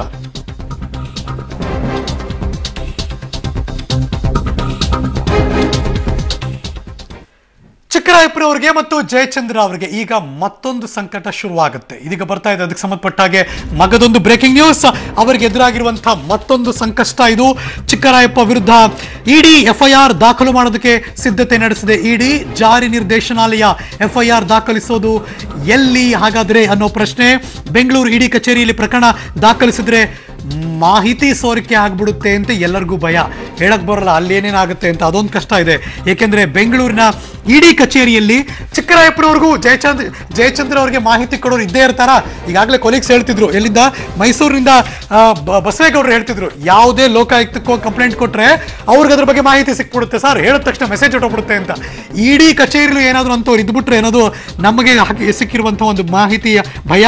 ಎಫ್ ಐ ಆರ್ ಬಗ್ಗೆ ಎಫ್ ಐ ಆರ್ ಆಗಿ ಏನಾದರೂ ಅರೆಸ್ಟ್ ಆದರೆ ಒಂದೆರಡು ವರ್ಷ ಜಾಮೀನಂತೂ ಖಂಡಿತವಾಗ್ಲೂ ಸಿಗಲ್ಲ. ದಿಸ್ ಇಸ್ ದ ಪಾಯಿಂಟ್ ಈಗ ಬರ್ತಿರುವಂತಹ ಬ್ರೇಕಿಂಗ್ ನ್ಯೂಸ್ ಮೂರು ವರ್ಷ ಅವಾಗ ಜೈಲ್ ಗ್ಯಾರಂಟಿ ಎಲ್ಲದರ ಬೆಳವಣಿಗೆಗಳ ಬಗ್ಗೆ ಮತ್ತಷ್ಟು ಮಾಹಿತಿ ನನ್ನ ಸಹೋದ್ಯೋಗಿ ಇನ್ಪುಟ್ ಚೀಫ್ ಅವಿನಾಶ್ ಅನಕೆರೆ ದೂರವಾಣಿ ಸಂಪರ್ಕದಲ್ಲಿ. ಅವಿನಾಶ್ ನಮಸ್ಕಾರ. ಅವಿನಾಶ್ ದೊರೆ ಕೇಳಿಸ್ತಾ ಇದೆಯಾ? ಖಂಡಿತ. Okay this is very interesting ದುಡ್ಡನ್ನ ಮನೇಲಿ ಇಟ್ಕೊಂಡಿರ್ಲಿಲ್ಲ ದುಡ್ಡು ಇದು ಇಡೋದಕ್ಕೆ ಒಂದು ಮನೆ ಇಟ್ಕೊಂಡಿದ್ರು ಅಂತ. ವಾವ್ ಖಂಡಿತ ಖಂಡಿತ. ಎಷ್ಟು ದುಡ್ಡು ಇರ್ಬೇಕು ಹೇಳಿ ಮತ್ತೆ. ಎಷ್ಟಿತ್ತು ವಿನಾಶ್? ನೀವೇ ನೋಡಿದ್ರಲ್ಲ ಏಳು ಕೋಟಿಗೂ ಹೆಚ್ಚು ಹಣ ಸಿಕ್ಕಿದೆ ಚಿನ್ನ ಸಿಕ್ಕಿದೆ ಚಿನ್ನದ ಗಟ್ಟಿ ಸಿಕ್ಕಿದೆ. ತಮಾಷೆ ಅಂದ್ರೆ ಅದನ್ನ ಅತಿಥಿ ಸತ್ಕಾರಕ್ಕೆ ಅಂತ ಇಟ್ಕೊಂಡಿದ್ರಂತೆ. ಸಂಜಯ್ ನಗರದಲ್ಲಿ ಏನಿದೆ ಅದು ಯಡಿಯೂರಪ್ಪನವ್ರ ಮನೆ ಹತ್ರದಲ್ಲಿರುವಂತಹ ಅಪಾರ್ಟ್ಮೆಂಟ್ ಅದು ಪೆಬಲ್ ಬೇ ಅಂತ. ಆ ಅಪಾರ್ಟ್ಮೆಂಟ್ ಅಲ್ಲಿರೋ ಫ್ಲಾಟ್ನ ಅತಿಥಿ ಸತ್ಕಾರಕ್ಕೆ ಅಂತ ಇಟ್ಕೊಂಡಿರಂತೆ ಏನೇನ್ ಸತ್ಕಾರ ಕೊಡ್ತಿದ್ರು ಹೇಳಿ. ಎಂತ ಸತ್ಕಾರ ಕೊಡ್ತಿದ್ರು. ಅದಕ್ಕೆ ಮಾಲೀಕರು ಇವರೇನಾ? ಜಯಚಂದ್ರ ಅವರೇ ಮಾಲೀಕರು ಅಲ್ಲಿ ಬೆಬಲ್ ಬೇದಕ್ಕೆ ಈ ಚಿಕ್ಕರಾಯಪುರದ ಕೂಡ ಒಂದು ಗೆಸ್ಟ್ ಹೌಸ್ ಇದೆಯಂತೆ. ಅದು ಜೆ ಪಿ ನಗರದಲ್ಲಿ ಅದನ್ನು ಕೂಡ ನೆನ್ನೆನೆ ದಾಳಿ ಮಾಡಿ ಮುಗಿಸಿದಾರಂತೆ. ಆ, ಅಲ್ಲಿ ಚಿಕ್ಕರಾಯಪ್ಪನವ್ರಿಗೆ ಸಂಬಂಧಪಟ್ಟವ್ರ ಎಲ್ಲ ಅಲ್ಲಿ ಅತಿಥಿ ಸತ್ಕಾರ ನಡೀತಂತೆ ಅಲ್ಲಿ ಅವರು ತಮ್ಮ ಫ್ರೀ ಟೈಮ್ನ ಎಂಜಾಯ್ ಮಾಡ್ಲಿಕ್ಕೋಸ್ಕರ ಗೆಸ್ಟ್ ಹೌಸ್ ಹೋಗ್ತಿರಂತೆ ಓಹೋ. ಚಿಕ್ಕರಾಯಪ್ಪನವ್ರ ಮನೆ ವಾಸ ಇರೋ ಮನೆ ಕುಟುಂಬ ಸಹಿತ ವಾಸ ಇರೋ ಮನೆ ಸಂಜಯ್ ನಗರದಲ್ಲಿದೆ. ಜಯಚಂದ್ರ ಅವರ ಕುಟುಂಬ ಸಹಿತ ವಾಸ ಇರೋ ಮನೆ ಚಂದ್ರ ಲೇಔಟ್ ನಲ್ಲಿದೆ ಇಬ್ರು ಒಂದೊಂದು ಗೆಸ್ಟ್ ಹೌಸ್ ಇಟ್ಕೊಂಡು ಅಂದ್ರೆ ದುಡ್ಡಿಡಕ್ಕೆ ಒಂದ್ ಮನೆ ಮಾಡ್ಕೊಂಡು ಸಾವಿರಕ್ಕೊಂದ್ ಮನೆ ಮಾಡ್ಕೊಂಡಿದ್ದು ಬಹಳ ಆಶ್ಚರ್ಯ. ಆ, ನಮಗೀಗ ಪ್ರಶ್ನೆ ಕಾಡ್ತಿರೋದು ಈ ಅತಿಥಿ ಸತ್ಕಾರ ಪಡೆದುಕೊಂಡಿರೋರು ಯಾರು? ಆ ಈಗ ಸಿಕ್ಬಿಡ್ತಾರೆ. ಅದು ಚಿಕ್ಕರಾಯಪ್ಪನವ್ರದ್ದು ಇಂಡಿಪೆಂಡೆಂಟ್ ಹೌಸ್ ಆಗಿರೋದ್ರಿಂದ ಅಲ್ಲಿ ದಾಖಲೆ ಸಿಗೋದು ಕಷ್ಟ ಅಂತ ಹೇಳಲಾಗ್ತಿದೆ. ಆದ್ರೆ ಇದು ಪೆಬಲ್ ಬೇ ಅಪಾರ್ಟ್ಮೆಂಟ್ ಆಗಿರೋದ್ರಿಂದ ಸಿಸಿಟಿವಿ ದೃಶ್ಯಾವಳಿಗಳನ್ನ ವಶಪಡಿಸಿಕೊಂಡಿದ್ದಾರೆ. ಜೊತೆಗೆ ಪ್ರತಿ ಎಂಟ್ರಿ ಎಕ್ಸಿಟ್ಗೂ ಅಲ್ಲಿ ಎಂಟ್ರಿ ಮಾಡೋದ್ರಿಂದಾಗಿ ಯಾವ ಗೆಸ್ಟ್ ಬಂದ್ರು ಯಾವ ಕಾರ್ ಬಂದಿತ್ತು ಅನ್ನೋದು ಎಂಟ್ರಿ ಮಾಡೋದ್ರಿಂದಾಗಿ ಅದು ಸಿಗ್ಬೋದು ಅಂತ ಹೇಳಿ ಆ ಎಂಟ್ರಿ ಪುಸ್ತಕವನ್ನು ಕೂಡ ಐ ಟಿ ಅಧಿಕಾರಿಗಳು ಮತ್ತೆ ಇಡಿ ಅಧಿಕಾರಿಗಳು ವಶಪಡಿಸಿಕೊಂಡಿದ್ದಾರೆ ಅನ್ನುವಂತ ಮಾಹಿತಿ ಇದೆ ಓಕೆ ವೆರಿ ಗುಡ್ ಹಂಗ್ ನೋಡಕ್ ಹೋದ್ರೆ ಒಂದ್ ರೀತಿ ತ್ರೀ ಸಿಕ್ಸ್ಟಿ ಡಿಗ್ರಿ ಅದನ್ನ ಕವರ್ ಮಾಡ್ತಿದ್ರು ಐಟಿ ಅಧಿಕಾರಿಗಳು ಅಂತ ಅನಿಸ್ತಾ ಇದೆ. ಒನ್ ಔಟ್ ಈ ಇಡಿ ಕಚ್ ಇಡಿ ಅಂದ್ರೆ ಜಾರಿ ನಿರ್ದೇಶನಕ್ಕೆ ಹೋಯ್ತು ಅಂದ್ರೆ ಓ ಏನೋ ಆಗುತ್ತಪ್ಪ ಇಲ್ಲಿ ಅಂತ ಅನ್ಬೋದು. ಬಟ್ ಸ್ಟಿಲ್ ಅಲ್ಲೂ ಅನುಮಾನ ಕಾಡ್ತಿದ್ಯಾ? ಇಲ್ಲ ಅಧಿಕಾರಿಗಳು ಭ್ರಷ್ಟರು ಎಲ್ಲಾ ಕಡೆ ಇರ್ತಾರೆ ಎಲ್ಲಾ ಇಲಾಖೆ ಗವರ್ಮೆಂಟ್ ಆಫ್ ಇಂಡಿಯಾದಲ್ಲೂ ಇರ್ತಾರೆ ಗವರ್ಮೆಂಟ್ ಆಫ್ ಕರ್ನಾಟಕದಲ್ಲೂ ಇರ್ತಾರೆ. ಆದ್ರೆ ಈ ಕೇಸು ಇಡೀ ದೇಶದ ಗಮನ ಸೆಳೆದಿದೆ. ಖುದ್ದು ಪ್ರಧಾನಿ ಮೋದಿ ಅವರೇ ಈ ತನಿಖಾಧಿಕಾರಿಗಳ ಜೊತೆ ಮಾತನಾಡಿ ವಿಶ್ ಮಾಡಿರೋದ್ರಿಂದ ಈಗ ದಿಕ್ಕು ತಪ್ಪಿಸೋದು ಕಷ್ಟ ಇದೆ ರೀ ಓಕೆ ಬಟ್ ಅಲ್ಲೂ ಮಾಹಿತಿ ಸೋರಿಕೆ ಆಗುವಂತಹ ಸಾಧ್ಯತೆಗಳು? ಸಾಧ್ಯತೆಗಳು ಎಲ್ಲಾ ಕಡೆ ಇದ್ದೇ ಇರುತ್ತೆ ಅದು. ಇದ್ದೇ ಇರ್ತಾರೆ ಅಂತ ಈಗ ಎಫ್ಐಆರ್ ಏನಾದ್ರೂ? ಪ್ರಾಮಾಣಿಕ ಅಧಿಕಾರಿಗಳ ಕೈಗೆ ಈ ತನಿಖೆ ಕೊಟ್ಟಿರೋದ್ರಿಂದ ಆ ಚಾನ್ಸಸ್ ತುಂಬಾ ಕಡಿಮೆ ಅಂತ ಅನ್ಸುತ್ತೆ. ಅವ್ರ ವಿರುದ್ಧ ಎಫ್ ಐ ಆರ್ ಏನಾದ್ರು ದಾಖಲಾದ್ರೆ ಮುಂದಿನ ಬೆಳವಣಿಗೆ ಏನಾಗುತ್ತೆ? ಎಫ್ಐಆರ್ ದಾಖಲಾದ ಬಹುಶಃ ಅರೆಸ್ಟ್ ಮಾಡ್ತಾರೆ ಮೊದಲನೇದಾಗಿ. ಅರೆಸ್ಟ್ ಅನ್ನ ತೋರಿಸ್ತಾರೆ ವಶಕ್ಕೆ ಪಡೆದುಕೊಂಡು? ಜೊತೆಗೆ ಸಿಬಿಐ ಅಧಿಕಾರಿಗಳು ತಮಿಳುನಾಡಿಂದ ತನಿಖೆ ಆರಂಭಿಸಿರೋದ್ರಿಂದಾಗಿ ತಮಿಳುನಾಡಲ್ಲಿ ಈಗ ಆಲ್ರೆಡಿ ದಾಳಿ ಮಾಡಿದ್ದಾರೆ. ಈ ರೋಡ್ನ ನ ಬ್ಯಾಂಕ್ ಮ್ಯಾನೇಜರ್ಗಳನ್ನ ವಶಕ್ಕೆ ಪಡೆದು ವಿಚಾರಣೆ ನಡೆಸ್ತಾ ಇದ್ದಾರೆ. ಅವರು ಕೂಡ ಅವರು ತಮ್ಮ ತನಿಖೆಯನ್ನ ಕರ್ನಾಟಕಕ್ಕೆ ವಿಸ್ತರಿಸಿಕೊಳ್ಳುವಂತ ಸಾಧ್ಯತೆಗಳು ಜಾಸ್ತಿ ಕಾಣಿಸ್ತಾ ಇದೆ. ಯಾಕಂದ್ರೆ ಈ ಚಂದ್ರಕಾಂತ್ ರಾಮಲಿಂಗಂ ತುಂಬಾ ಜನರಿಗೆ ಈ ರೀತಿ ಬ್ಲಾಕ್ನ ಪಿಂಕ್ ಮಾಡಿ ಕೊಟ್ಟಿದ್ದಾರೆ ಅನ್ನುವಂತ ಮಾಹಿತಿ ದಾಳಿ ವೇಳೆ ಗೊತ್ತಾಗಿದೆ. ಹೀಗಾಗಿ ಅದರಲ್ಲಿ ಬೇರೆ ಯಾರ್ಯಾರು ಬ್ಲಾಕ್ನ ಪಿಂಕ್ ಮಾಡ್ಕೊಂಡಿದ್ದಾರೆ ಅಧಿಕಾರಿಗಳು ರಾಜಕಾರಣಿಗಳು ಉದ್ಯಮಿಗಳು ಅನ್ನೋದು ಕೂಡ ಪರಿಶೀಲನೆ ನಡೀತಾ ಇದೆ ಹರೀಶ್. ಸೊ ಈ ಎಫ್ ಐ ಆರ್ ದಾಖಲಾದ್ರೆ ಇಸ್ ನಾನ್ ಬೇಲಬಲ್ ಆ ಖಂಡಿತ. Okay. Right. Thank you so much Avinash. ಈ ಮಾಹಿತಿಗಾಗಿ ಆದಾಯ ತೆರಿಗೆ ಇಲಾಖೆ ಅಧಿಕಾರಿಗಳು ಶೋಧ ಕಾರ್ಯದಲ್ಲಿ ಈಗ ಮತ್ತಷ್ಟು ಟೈಟ್ ಮಾಡಿದ್ದಾರೆ. ಒಂದ್ ರೀತಿ ನಿನ್ನೆ ನಡೆದಂತಹ ಬೆಳವಣಿಗೆ ಮೊದಲ ಹಂತ ಅನ್ನೋದಾದ್ರೆ ಇವತ್ತಿಂದ ನಡೀತಿರೋದು ಇದು ಎರಡನೇ ಹಂತದ ಅತಿ ತೀವ್ರವಾದಂತಹ ದಾಳಿ ಇದು. ಪ್ರಧಾನಮಂತ್ರಿಗಳೇ ಅವರ ಬೆನ್ನ ಹಿಂದೆ ಇದ್ದಾರೆ ಅಂದಮೇಲೆ ಯು ಕ್ಯಾನ್ ಇಮ್ಯಾಜಿನ್ ಮುಗೀತು. ಹಾಗಾದ್ರೆ ನಾವು ಇನ್ಯಾರಿಗೆ ಹೆದರಬೇಕು? ಯಾರ ನಾವು ಯಾಕೆ ಬಗ್ಬೇಕು? ಹೀಗಾಗಿ ಆದಾಯ, ತೆರಿಗೆ, ಅಧಿಕಾರಿಗಳ ಒಂದು ರೀತಿ ಬಿರುಸಿನ ಚಟುವಟಿಕೆ ಇದು. ಎಲ್ಲ ಕಡೆ ಕೂಡ ನಾನು ಆಗಲೇ ಹೇಳಿದಾಗೆ ಮುನ್ನೂರ ಅರವತ್ತು ಡಿಗ್ರಿ ಏನಿದೆ ಅದನ್ನು ಕವರ್ ಮಾಡಿದ್ದಾರೆ. ಆ, ಎಲ್ಲ, ಆ, ಇಬ್ಬರು ಅಧಿಕಾರಿಗಳ ನೆಟ್ವರ್ಕನ್ನು ಈಗ ಚೆಕ್ ಮಾಡ್ತಿದ್ದಾರೆ. ಓಕೆ ದೊಡ್ಡ ಮಟ್ಟದ ಬೆಳವಣಿಗೆ ಇದು ಹಂಗೆ ನೋಡಕ್ ಹೋದ್ರೆ. ಐ ಥಿಂಕ್ ಸ್ಟುಡಿಯೋಲ್ ಕೂತಿರುವಂಥ ಗೆಸ್ಟ್ಗಳಿಗೆ ಒಂದು ರೀತಿ ಇದು ಸಮಾಧಾನ ಬಟ್ ಆದರೆ ಇದು ಬೇರೆಯವರಿಗೆ ಪಾಠ ಕೂಡ ಆಗಲೇಬೇಕು ಅಂತ ಅನಿಸ್ತಾ ಇದೆ. ಐ ಗೋ ಬ್ಯಾಕ್ ಬಸವೇಗೌಡರು ಮೈಸೂರಿಂದ ನನ್ನ ಜೊತೆ ನೇರ ಸಂಪರ್ಕದಲ್ಲಿದ್ದಾರೆ. ಬಸವೇಗೌಡರು, ಒಂದು ಕ್ಷಣ ಯಾವಾಗಲೂ ನೀವು ಆಗಲೇ ಹೇಳ್ತಿದ್ರಿ, ಎಷ್ಟೋ ಸರಿ ಅಲ್ದಾಡ್ತೀವಿ ನಾವು, ನಮಗೆ ನ್ಯಾಯ ಸಿಗೋದಿಲ್ಲ. ಇನ್ಯಾರೋ ಅಲ್ಲಿ ಮಾಹಿತಿ ಸೋರಿಕೆದಾರರು ಇದ್ದಾಗ ಈ ವ್ಯವಸ್ಥೆ ಬಗ್ಗೆ ಅಸಹ್ಯ ಹುಟ್ಟಿಸುತ್ತೆ. ಬಟ್ ಎಲ್ಲೋ ಒಂದು ಕಡೆ ಇದು ಬೆಳವಣಿಗೆಗೆ ಪೂರಕವಾಗಿ ಏನೋ ನಡೀತಿದೆ ಅಂದಾಗ ಐ ಥಿಂಕ್ ನಾವು ಕೋಪರೇಟ್ ಮಾಡಬೇಕು. ಇನ್ನೊಂದಷ್ಟು ದಿನ ಜನ ಬೇಜಾರು ಮಾಡ್ಕೋತಾರೆ. ನಿಜ ಬಟ್ ಇದನ್ನು ಸಹಿಸ್ಕೋಬೇಕು ಅಂತ ಅನ್ಸುತ್ತಲ್ವಾ? ಹೌದು ಸರ್ ಏನಾಗಿದೆ ಅಂತಂದ್ರೆ ಈಗ ತನಿಖಾ ಸಂಸ್ಥೆಗಳನ್ನ ದಿಕ್ಕು ತಪ್ಪಿಸಿ ತನಿಖಾ ಸಂಸ್ಥೆಗಳನ್ನ ದಿಕ್ಕು ತಪ್ಪಿಸಿ ಈಗ ಮಾನ್ಯ ಮುಖ್ಯಮಂತ್ರಿಗಳು ಹಾಗೂ ಲೋಕೋಪಯೋಗಿ ಸಚಿವ ಮಹಾದೇವಪ್ಪರವರು ಅಧಿಕಾರಿಗಳನ್ನ ಭ್ರಷ್ಟಾಚಾರ ಮಾಡೋಕೆ ಕುಂಭ ಕೊಟ್ಟಿರುವಂತದ್ದು. ಇದು ಸತ್ಯ. ಇದು ಏನಂದ್ರೆ ಇದು ಎಲ್ಲಾ ತನಿಖಾ ಸಂಸ್ಥೆಗಳನ್ನ ದಿಕ್ ತಪ್ಪಿಸ್ಬಿಟ್ರು ಯಾವುದೇ ಒಬ್ಬ ಸಾಮಾನ್ಯ ದೂರುದಾರ ಎಲ್ಲೋದ್ರೂ ನ್ಯಾಯ ಸಿಗಲ್ಲ. ಇದಕ್ಕೆ ಏನಾಯ್ತು ಅಂದ್ರೆ ನಮ್ಮ ಹಳ್ಳಿಲಿ ಒಬ್ಬ ರೈತ ಇದ್ದ ಈ ಎತ್ತುಗಳನ್ನ ಬೇರೆಯವ್ರ ಜಮೀನಿಗೆ ಬೇಯ್ ಮೇಯಕ್ ಬಿಟ್ಬಿಡೋಣ ಯಾರ ಜಮೀನಸ್ಥ ಬಂದಾಗ ಓ ನಾನು ನೋಡ್ಲೇ ಇಲ್ಲ ನಾ ಊಟಕ್ಕೆ ಹೋಗಿದೆ ಬಂದ್ಬಿಟ್ಟದೆ ಅಂತ ಹೇಳಿ ಈ ತರ ಮುಖ್ಯಮಂತ್ರಿಗಳು ಬಿಡಬ್ಲ್ಯೂ ಪಿ ಡಬ್ಲ್ಯೂ ಮಂತ್ರಿಗಳು ಕೂಡ ಕಾರ್ಯನಿರ್ವಹಿಸ್ತಾ ಇದಾರೆ. ಯಾಕೆ ಅಂದ್ರೆ ಇವತ್ತು ಭ್ರಷ್ಟಾಚಾರ ಮಾಡೋಕೆ ಕುಂಭಕರ ಆರು ಬೇಕಾದಂತ ಅಧಿಕಾರಿಗಳನ್ನ ಆಯಾ ಕಟ್ಟಿನಲ್ಲಿ ತಂದು ಕೂರಿಸಿ. ಇವತ್ತು ಭ್ರಷ್ಟಾಚಾರ ನಡೆಯಕ್ಕೆ ಕಾರಣಕರ್ತರೆ ಮಾನ್ಯ ಮುಖ್ಯಮಂತ್ರಿಗಳು ಹಾಗೂ ಲೋಕೋಪಯೋಗಿ ಸಚಿವ ಮಾದೇವಪ್ಪನವರು ಇದರಲ್ಲಿ ಸತ್ಯಾಂಶ ಇದೆ. ಈಗ ಜಯಚಂದ್ರ ಅವರು ಮಾಡಿರುವಂತ ಹಗರಣ ಮೂರುವರೆ ಸಾವಿರ ಕೋಟಿ ಟೆಂಡರ್ ಹಗರಣದಲ್ಲಿ ಮುನ್ನೂರ ಐವತ್ತು ಕೋಟಿ ಕಿಕ್ ಬ್ಯಾಕ್ ಪಡೆದಿರ್ತಾರೆ. ಆ ಹಣನೇ ಇವತ್ತು ಸಿಕ್ಕಿರೋದು ಲೋಕೋ ಇವ್ರಿಗೆ ನಮ್ಮ ತನಿಖಾಧಿಕಾರಿಗಳಿಗೆ. ಹಾಗಾಗಿ ಇವತ್ತು ಈ ಭ್ರಷ್ಟಾಚಾರಕ್ಕೆ ಕಾರಣ ಈ ಸರ್ಕಾರವೇ ಹೊರತು ಅಧಿಕಾರಿಗಳು ನೆಪ ಮಾತ್ರ. ಆದ್ರೆ ಸರ್ಕಾರನೇ ಇದ್ರ ಹಿಂದಿದೆ ಅಂತ ನಾವು ಹೇಳಬಲ್ಲ ಸರ್. ಹೊಸ ನೋಟಲ್ಲಿ ಒಂದು ಹತ್ತು ಕೋಟಿನೋ ಹನ್ನೆರಡು ಕೋಟಿನೋ ಅವ್ರ ಮಗ ಐಷಾರಾಮಿ ಕಾರ್ಗಳನ್ನು ತೆಗೆದುಕೊಂಡು ಓಡಾಡ್ತಾರೆ ಅಂದ್ರೆ ಹೆಂಗಿರ್ಬೇಡ ಬಸವೇಗೌಡ್ರೆ? ಸರ್ ಅದೇ ಇವತ್ತು ಬೇನಾಮಿ ದುಡ್ಡು ಇವತ್ತು ಟೆಂಡರ್ ಹಗರಣಗಳು ಬೇಕಾದಷ್ಟು ನಡೆದಿದೆ. ಇವತ್ತು ಲೋಕೋಪಯೋಗಿ ಇಲಾಖೆನಲ್ಲಿ ಅನುದಾನ ಬಿಡುಗಡೆ ಹಾಗೂ ಟೆಂಡರ್ ಹಗರಣ ಸಾವಿರ ಐದು ಸಾವಿರ ಕೋಟಿ ಹಗರಣ ನಡೆದಿದೆ. ಅದರಲ್ಲಿ ಲೆಕ್ಕ ಕಳಿ ಎಷ್ಟು ಕಮಿಷನ್ ಹಣ ಬರ್ತದೆ ಅಂತ ಇವ್ರಿಗೆ ಭ್ರಷ್ಟಾಚಾರದ ಹಣ. ಇವತ್ತು ಅದು ಕಣ್ಣು ಕಾಣದಿರುವಂತ ಹಣ ಜನಗಳು ಗೊತ್ತಾಗಲ್ಲ. ನಮ್ಮನ್ನ ಕೂಡ ಕೆಲವರು ಈ ಮಾಹಿತಿ ಏನು ಅಂತಾರೆ ನಮ್ಮನ್ನು ಕೂಡ ಕೆಲವು ತಪ್ಪು ತಿಳಿತಾರೆ. ಆದ್ರೆ ನಾವು ನಾವು ನಾನು ಈ ಕಂಟ್ರಾಕ್ಟ್ ಫೀಲ್ಡ್ ಬಂದುತ್ತವಿಂದ ನೋಡ್ತಾ ಇದ್ದೀನಿ ವ್ಯವಸ್ಥೆಗಳನ್ನ ಈ ಅಧಿಕಾರಿಗಳು ಮಾಡ್ತಾ ಇರುವಂತ ಭ್ರಷ್ಟಾಚಾರಕ್ಕೆ ಅದರ ಹಿನ್ನೆಲೆಯಾಗಿ ರಾಜಕಾರಣಿಗಳೇ ನಿಂತಿದ್ದಾರೆ ಸರ್. ಕಾಂಟ್ರಾಕ್ಟರ್ಗಳು ಬಲಿ ಆಗ್ಬಿಡ್ತಾರೆ ಅದಕ್ಕೆ? ಆದ್ರಿಂದ ಈ ವ್ಯವಸ್ಥೆ ಬದಲ ಕಾಂಟ್ರಾಕ್ಟರ್ಗಳು ಬಲಿಯಾಗಿದ್ದಾರೆ. ಆ ಸಣ್ಣ ಪುಟ್ಟ ಗುತ್ತಿಗೆದಾರಿಗೂ ಅನಾನುಕೂಲ ಆಗಿದೆ. ವ್ಯವಸ್ಥೆ ನೋಡಿ ಸರ್ ಇವತ್ತು ಮ್ಯಾನುವಲ್ ಟೆಂಡರ್ ರದ್ದುಪಡಿಸಿದ್ರು. ಮತ್ತೆ ಪೀಸ್ ವರ್ಕ್ ರದ್ದುಪಡಿಸಿದ್ರು. ನಾವು ಪಾರದರ್ಶಕತೆ ಕಾಪಾಡ್ತೀವಿ ಅಂತ ಹೇಳಿದ್ರು. ಸಾವಿರಾರು ಜನ ಗುತ್ತಿಗೆದಾರರಿಗೆ ಅನ್ಯಾಯ ಆಯ್ತು. ಇವತ್ತು ಪ್ಯಾಕೇಜ್ ಸಿಸ್ಟಮ್ ಮಾಡಿದ್ರಿ ಪ್ಯಾಕೇಜ್ ಸಿಸ್ಟಮ್ ಮಾಡಿ ಬೇಕಾದಂತ ಗುತ್ತಿಗೆದಾರರಿಗೆ ಕೋರ್ಟ್ ಕೊಟ್ಟಿ ನಕಲಿ ಡಾಕ್ಯುಮೆಂಟ್ಸ್ ಆಧಾರದ ಮೇಲೆ ಟೆಂಡರ್ ಅಪ್ರೂವಲ್ ಕೊಟ್ಟಿದ್ದಾರೆ. ಇವತ್ತು ಇದು ಪಾರದರ್ಶಕತೆನ ಇದು? ಇವತ್ತು ಹದಿನೈದು ಪರ್ಸೆಂಟ್ ಇಪ್ಪತ್ತು ಪರ್ಸೆಂಟ್ ಎಬೋ ಕೊಟ್ಟಿದ್ದಾರೆ. ಸರ್ಕಾರಕ್ಕೆ ನಷ್ಟ ಅಲ್ವಾ ಇದು?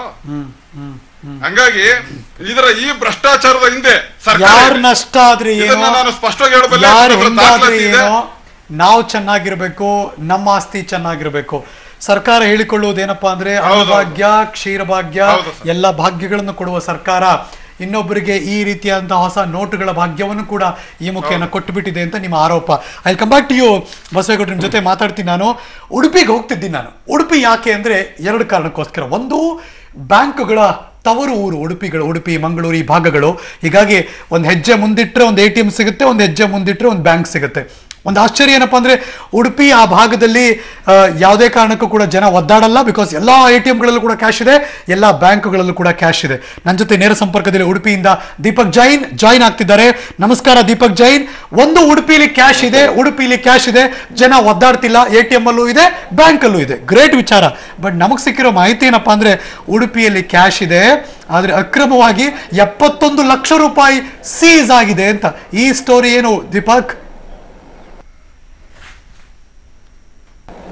ಹೌದು ಹರೀಶ್ ಕ್ಯಾಶ್ ಸ್ವಲ್ಪ ಜಾಸ್ತಿ ಆಗಿದೆ ಅಂತಾನೆ ಹೇಳ್ಬೋದು ಬ್ಯಾಂಕ್ ಅಲ್ಲಿ ಮೂರು ಮಂದಿ ಕಾರ್ ಅಲ್ಲಿ ಎಪ್ಪತ್ತೊಂದು ಲಕ್ಷ ರೂಪಾಯಿ ಅದು ಕೂಡ ಎರಡು ಸಾವಿರ ರೂಪಾಯಿಯ ಗರಿಗರಿ ನೋಟ್ ಅನ್ನ ಸೂಟ್ ಕೇಸ್ನಲ್ಲಿ ಮಂಗಳೂರು ಜಿಲ್ಲೆಯಿಂದ ಉಡುಪಿ ಜಿಲ್ಲೆಗೆ ಬರ್ತಾ ಇದ್ರು. ಉಡುಪಿ ಜಿಲ್ಲೆಯಲ್ಲಿ ಬೈಲೂರು ಅನ್ನೋ ಪ್ರದೇಶದಲ್ಲಿ ಕಾರ್ಕಳದ ಪೊಲೀಸರು ಮೂರು ಜನರನ್ನ ಅರೆಸ್ಟ್ ಮಾಡಿದ್ದಾರೆ. ಅವರ ಹೆಸರು ಆಸಿಫ್ ಇಮ್ರಾನ್ ಅವರು ಮಂಗಳೂರಿನಿಂದ ಉಡುಪಿಗೆ ಈ ಹಣವನ್ನ ಸಾಗ- ಸಾಗಾಟ ಮಾಡ್ತಾ ಇದ್ರು. ಅವರನ್ನ ಪೊಲೀಸರು ವಶಕ್ಕೆ ತೆಗೆದುಕೊಂಡು ನೇರವಾಗಿ ಐಟಿ ಅಧಿಕಾರಿಗಳಿಗೆ ದೂರನ್ನು ನೀಡ್ತಾರೆ. ಐಟಿ ಅಧಿಕಾರಿಗಳು ಬಂದು ಕಾರನ್ನ ಎಪ್ಪತ್ತೊಂದು ಲಕ್ಷ ರೂಪಾಯಿಯನ್ನ ಮತ್ತು ಮೂವರನ್ನ ವಶಕ್ಕೆ ಪಡಿತಾರೆ. ನಂತರ ಅವರನ್ನ ಮಂಗಳೂರಿನ ಒಂದು ಗೌಪ್ಯ ಪ್ರದೇಶದಲ್ಲಿ ವಿಚಾರಣೆಯನ್ನ ಕೂಡ ಮಾಡ್ತಾರೆ. ಸುಮಾರು ಮೂರು ಗಂಟೆಗಳ ಕಾಲ ನಿರಂತರ ವಿಚಾರಣೆ ಮಾಡಿದ ನಂತರ ಅವರನ್ನ ಸದ್ಯಕ್ಕೆ ಬಿಟ್ಟಿದ್ದಾರೆ ಅನ್ನೋ ಮಾಹಿತಿ ಸಿಗ್ತಾ ಇದೆ. ಅವರಲ್ಲಿ ಸರಿಯಾದ ಕಡತಗಳು ಸಿಗ್ತಾ ಇಲ್ಲ ಅವರ ಜೊತೆಗೆ. ಇದ್ರ ಜೊತೆಗೆ ಕೂಡ ಸಿಕ್ಕಿಲ್ಲ. ನನ್ಗೆ ಗೊತ್ತಿರೋ ಹಂಗೆ correct me if I'm wrong ನೋಟ್ಗಳ ಮೇಲೆ ನಂಬರ್ಸ್ ಇರುತ್ತೆ. ಆರ್ ಬಿ ಐ ಆ ನಂಬರ್ಗಳನ್ನ ಯಾರಿಗೆ ಇಶ್ಯೂ ಮಾಡಿದ್ದಾರೆ, ಯಾವ ಬ್ರಾಂಚ್ಗೆ ಅಂತ ಟ್ರೇಸಬಲ್ ಅಲ್ವಾ ದೀಪಕ್? ಹೌದು ಈಗ ಸದ್ಯಕ್ಕೆ ಆ ಆ ಮೂರು ಮಂದಿ ಆರೋಪಿಗಳನ್ನ ವಶಕ್ಕೆ ಪಡೆದು ದುಡ್ಡನ್ನ ವಶಕ್ಕೆ ಪಡೆದಿದ್ದಾರೆ ಮತ್ತು ಕಾರನ್ನ ವಶಕ್ಕೆ ಪಡೆದಿದ್ದಾರೆ. ಈ ದುಡ್ಡು ಏನಿದೆ ಇದು ಇದಕ್ಕೆ ಏನಾದರೂ ಸರಿಯಾದ ದಾಖಲೆಗಳು ಇದ್ರೆ ಈ ನಮ್ಮ ಬಳಿಗೆ ಕೊಡಿ ನಾವು ದುಡ್ಡನ್ನ ಕೊಡ್ತೇವೆ ಅಂತ ಹೇಳಿ ಬಿಟ್ಟಿದ್ದಾರೆ. ಇದರ ಜೊತೆಗೆ ಅವರು ಈ ಸಂದರ್ಭದಲ್ಲಿ ವಿಚಾರಣೆ ಸಂದರ್ಭದಲ್ಲಿ ಹೇಳಿರುವಂತದ್ದು ವಾರದ ಅಂತ್ಯ ಇದೆ ನಾವು ಬಿಸ್ನೆಸ್ ಮ್ಯಾನ್ಗಳು ಹೀಗಾಗಿ ಉಡುಪಿಯ ಕೆಲವು ಕಡೆ ನಮ್ಮ ಕೆಲಸ ಆಗ್ತಾ ಇದೆ ಏನು ಕನ್ಸ್ಟ್ರಕ್ಷನ್ ಬಿಸ್ನೆಸ್ ಹಾಗಾಗಿ ಅಲ್ಲಿನ ಇಂಜಿನಿಯರ್ಗಳಿಗೆ ಇತರ ಕೆಲಸದವರಿಗೆ ಕೊಡ್ಲಿಕ್ಕೆ ನಾವು ಬಟವಾಡೆ ಮಾಡ್ಲಿಕ್ಕೆ ತರ್ತಾ ಹೇಗ್ ಸಿಗುತ್ತೆ. ಬಟವಾಡೆ ಮಾಡ್ಲಿ ತಪ್ಪೇನಿಲ್ಲ. ಅವ್ರು ದುಡಿದ್ರೆ ಹಣ. ಬೇರೆ ಯಾರು ಏನು ಕಿತ್ಕೊಳಕ್ ಸಾಧ್ಯ ಇಲ್ಲ ಅಡ್ಡ ಬರಲ್ಲ. ಎರಡೆರಡು ಸಾವಿರ ಕೊಡ್ತಾರೆ ಎಕ್ಸಾಕ್ಟ್ಲಿ ಎರಡು ಸಾವಿರ ತೆಗಿಬೋದು. ವಾರಕ್ಕೆ ಈಗ ನಾನು ಹೋದ್ರು ಬ್ಯಾಂಕ್ ಅಲ್ಲಿ ಕ್ಯೂ ನಿಂತು ನಾನು ನನ್ನ ಸ್ಯಾಲ್ರಿ ತಗೊಳ್ಳೋ ಬ್ಯಾಂಕ್ ಅಲ್ಲಿ ಈಗ ಡಿಸೆಂಬರ್ ಬಂತು. ನಾನು ಹೋಗಿ ಚೆಕ್ ಕೊಟ್ಟರು ನಂಗೆ ಇಪ್ಪತ್ನಾಲ್ಕು ಸಾವಿರನೇ ಕೊಡೋದು. ಎಲ್ಲಿ ಜಾಸ್ತಿ ಕೊಡ್ತಾರೆ? ಎಪ್ಪತ್ತೊಂದು ಲಕ್ಷ ಹೇಗ್ ಸಾಧ್ಯ. ದೀಪಕ್? ಖಂಡಿತ ಸಾಧ್ಯ ಇಲ್ಲ ಯಾರಿಗೂ ಕೂಡ. ಎ ಟಿ ಎಂ ಅಲ್ಲಿ ನಿಂತ್ರೆ ಎರಡು ಸಾವಿರ ಮಾತ್ರ ಬರ್ತಾ ಇದೆ. ಎರಡೂವರೆ ಸಾವಿರ ಕೂಡ ಉಡುಪಿಗಳಲ್ಲಿ ಬರ್ತಾ ಇಲ್ಲ. ಇದರ ಜೊತೆಗೆ ವಾರಕ್ಕೆ ಒಂದು ವಾರಕ್ಕೆ ಇಪ್ಪತ್ತು ಸಾವಿರ ರೂಪಾಯಿಯನ್ನ ಅದು ಕೂಡ ಸಿಂಡಿಕೇಟ್ ಬ್ಯಾಂಕ್ನಲ್ಲಿ ಉಡುಪಿಯಲ್ಲಿ ಎಲ್ಲೂ ಕೂಡ ಇಪ್ಪತ್ತು ಸಾವಿರ ಕೊಡ್ತಾ ಇಲ್ಲ ಅನ್ನೋ ಮಾಹಿತಿನ ನಾವು ಬೆಳಗ್ಗೆ ಮಾತನಾಡಿದಂತಹ ಮಾತನಾಡಿದಂತ ಸಂದರ್ಭದಲ್ಲಿ ಕೂಡ ಜನಗಳು ಹೇಳಿದ್ದಾರೆ. ಹಾಗಾಗಿ ಎಪ್ಪತ್ತೊಂದು ಲಕ್ಷ ರೂಪಾಯಿ ಹೇಗೆ ಸಿಕ್ಕಿತು ಅದು ಬೇರೆ ಬೇರೆ ಸದ್ಯಕ್ಕೆ ಅವರು ಮಾಹಿತಿ ಕೊಟ್ಟಿರೋ ಪ್ರಕಾರ ಐ ಟಿ ಅಧಿಕಾರಿಗಳಿಗೆ ಬೇರೆ ಬೇರೆ ಬಿಸ್ನೆಸ್ ಮ್ಯಾನ್ಗಳು ಒಟ್ಟು ಸೇರಿ ಈ ಒಂದು ದುಡ್ಡನ್ನು ತಗೊಂಡು ಬರ್ತಾ ಇದ್ದೇವೆ ನಾವು ಅಂತ ಹೇಳಿ ಹಾಗಾಗಿ ಅವರೆಲ್ಲ ಯಾರು ಅದು ಬ್ಯಾಂಕಿಗೆ ಹೋಗಿ ಯ- ಯಾರ ಜೊತೆ ಟೈ ಅಪ್ ಮಾಡ್ಕೊಂಡವರು ಮ್ಯಾನೇಜರ್ಗಳ ಜೊತೆ ಏನಾದರೂ ಡೀಲ್ ಮಾಡಿದಾರ? ಕಮಿಷನ್ ವ್ಯವಹಾರ ಇದೆಯಾ? ಈ ಎಲ್ಲಾ ಆಂಗಲ್ ಗಳಿಂದ ಐಟಿ ಅಧಿಕಾರಿಗಳು ತನಿಖೆ ಮುಂದುವರಿಸ್ತಾರೆ ಅಂತ ಅನಿಸ್ತದೆ Harish. Right thank you so much Deepak Jai ನಿಮ್ಮ ಎಲ್ಲ ಮಾಹಿತಿಗೆ ಇಷ್ಟು ಕೂಡ ಉಡುಪಿಯಿಂದ ಬರ್ತಿರೋ ಮಾಹಿತಿ ಅಲ್ಲೂ ಕೂಡ ಎಪ್ಪತ್ತೊಂದು ಲಕ್ಷ ಗರಿಗರಿ ಹೊಸ ನೋಟು ಎರಡು ಸಾವಿರ ರೂಪಾಯಿದು. ಹೆಂಗ್ ಸಿಂಡಿಕೇಟ್ ಬ್ಯಾಂಕ್ ಹೆಡ್ ಆಫೀಸ್ ಇರೋದೇ ಉಡುಪಿಯಲ್ಲಿ. ಮಣಿಪಾಲ್. ಕಾರ್ಪೊರೇಷನ್ ಬ್ಯಾಂಕ್ ಇರೋದು ಅಲ್ಲೇ. ಅಂದ್ರೆ ಬ್ಯಾಂಕ್ ತವರು ನಾನು ಆಗ್ಲೇ ಹೇಳಿದೆ. ನಿಮ್ಗೂ ಕೂಡ ನಿಕಟ ಸಂಪರ್ಕ ಇರುತ್ತೆ ಬ್ಯಾಂಕ್ನವರು. ಏನ್ ಹೇಳ್ತಾರೆ ಸರ್? ಹೆಂಗ್ ಬಂದ್ಬಿಡುತ್ತೆ ಸರ್ ಇದು? ಸಾಯ್ತತ್ತ ಸರ್? ಉದ್ಯಮಗಳೆಲ್ಲ ಸೇರಿ ಈ ಒಂದು ಹಣವನ್ನ ತರ್ತಾ ಇದ್ದೇವೆ ಅಂತಂದ್ರೆ ಸುಮಾರು ಹತ್ತು ಲಕ್ಷ ಉದ್ಯಮಗಳು ನಮ್ಮ ಉಡುಪಿಯಲ್ಲಿ ಇರಬೇಕು ಯಾಕಂದ್ರೆ ಪ್ರತಿಯೊಬ್ಬರಿಗೆ ಎರಡೂವರೆ ಸಾವಿರ ಕನಿಷ್ಠ ಹಣ ಗರಿಷ್ಠ ಹಣ ಕೊಡುವುದಾದ್ರೆ ಹತ್ತು ಲಕ್ಷ ಸೇರಿದ್ರು ಜನ ಸೇರಿದ್ರು? ಹೋದ್ರು ಕೂಡ ಇಪ್ಪತ್ತ ಎರಡು ಲಕ್ಷ ರೂಪಾಯಿ ಒಟ್ಟಾಗತ್ತೆ. ಖಂಡಿತವಾಗಿ ಇದರಲ್ಲಿ ಯಾವುದೇ ನಿಸ್ಸಂಶ ಕಪ್ಪು ಹಣ ಖಂಡಿತವಾಗಿ ಈ ಕಾರ್ನಲ್ಲಿ ಸಾಗಿಸಲಾಗ್ತಾ ಇತ್ತಂತಕ್ಕಂಥದ್ದು. ಅದರಿಂದಲೇ ಅದನ್ನ ಆದಾಯ ತೆರಿಗೆ ಇಲಾಖೆ ಅಧಿಕಾರಿಗಳು ಸೂಕ್ತ ಮಾಹಿತಿ ಇಲ್ಲದೇ ಇದ್ದದರಿಂದಲೇ ಆ ಕಾರನ್ನ ಸೀಸ್ ಮಾಡಿರ್ತಾರೆ ಭಾಸ್ಕರನ್ ಸರ್ ಕಮಿಷನ್ ದಂಧೆ ಶುರುವಾಯಿತು. ಖಂಡಿತವಾಗಿ. ಇದು ಆರಂಭದಿಂದಲೇ ದಂಧೆ ಈಗ ಇವತ್ತು ನೆನೆ ಶುರುವಾದಲ್ಲ ನವೆಂಬರ್ ಎಂಟು ಆದ್ಮೇಲೆ ಒಂಬತ್ತು ಹತ್ತರಿಂದನೇ ಶುರುವಾಗೋದು. ಅಂದ್ರೆ ಇನ್ನೊಬ್ರು ದುಡ್ಡು ಮಾಡ್ಕೊಳ್ಳೋಕೆ ಜಾಗ ಆಯ್ತು ಅಂತ. ಖಂಡಿತವಾಗ್ಲೂ ನೋಡಿ ನಮ್ಮ ಗೆಳೆಯರ ಬಳಗದಲ್ಲಿ ಅಲ್ಲಿ ಇಲ್ಲಿ ಮಾತಾಡ್ಕೋತಿರ್ತಾರೆ ನೋಡ್ತಾನೂ ಇದ್ದಾರೆ. ಬೆಂಗಳೂರಲ್ಲಿರೋ ಉದ್ಯಮಿಗಳು ಗಾರ್ಮೆಂಟ್ ನಡೆಸೋರು ಮತ್ತು ಬೇರೆ ಬೇರೆ ಬಿಸ್ನೆಸ್ಗಳನ್ನು ಮಾಡೋರು ಐವತ್ತು ಲಕ್ಷ ಅರವತ್ತು ಲಕ್ಷ ಹಳೆ ನೋಟುಗಳನ್ನು ತಗೊಂಡೋಗಿ ಸಂಜೆ ಒಳಗೆ ಅದನ್ನು ಚೇಂಜ್ ಮಾಡ್ಕೊಂಡು ಬರ್ತಾರೆ. ಎಲ್ಲಿಂದ ಅಂದರೆ Kolar K G F ಟ್ಯಾಕಲ್ಲು Malur Mulbagal ಈ ಕಡೆಯಿಂದ ಮಾಡ್ಕೊಂಡು ಬರ್ತಾರೆ. ಅಲ್ಲೇನಾಗುತ್ತಂದ್ರೆ ಈ ಕಳ್ಳರು ಈ ಬಡವ್ರಿಗೆ ಹೋಗ್ಬೇಕಾದಂತ ಒಂದ್ ದಿನಕ್ಕೆ ಎರಡು ಸಾವಿರ ರೂಪಾಯಿ ದುಡ್ಡನ್ನ ಇವ್ರು ಲೂಟಿಗೆ ಹೊಡ್ಕೊಂಡ್ಬಂದು ಇಲ್ಲಿ ಇಟ್ಕೊಳ್ತಾರೆ. ಈಗ ಅವ್ರ ಮನೆಯಲ್ಲಿ ಐದು ಕೋಟಿ ರೂಪಾಯಿ ಸಿಕ್ಕಿದೆ. ಅದನ್ನೆಲ್ಲ ಸುಮ್ಮನೆ ಕೂತ್ಕೊಂಡು ಕ್ಯಾಲ್ಕುಲೇಟ್ ಮಾಡಿದೆ. ಒಬ್ಬ ಮನುಷ್ಯನಿಗೆ ಎರಡು ಸಾವಿರ ರೂಪಾಯಿ ಅಂದ್ರೆ ಇಪ್ಪತ್ತೈದು ಸಾವಿರ ಜನಗಳು ಕೊಡ್ಬೋದು ಅದನ್ನ.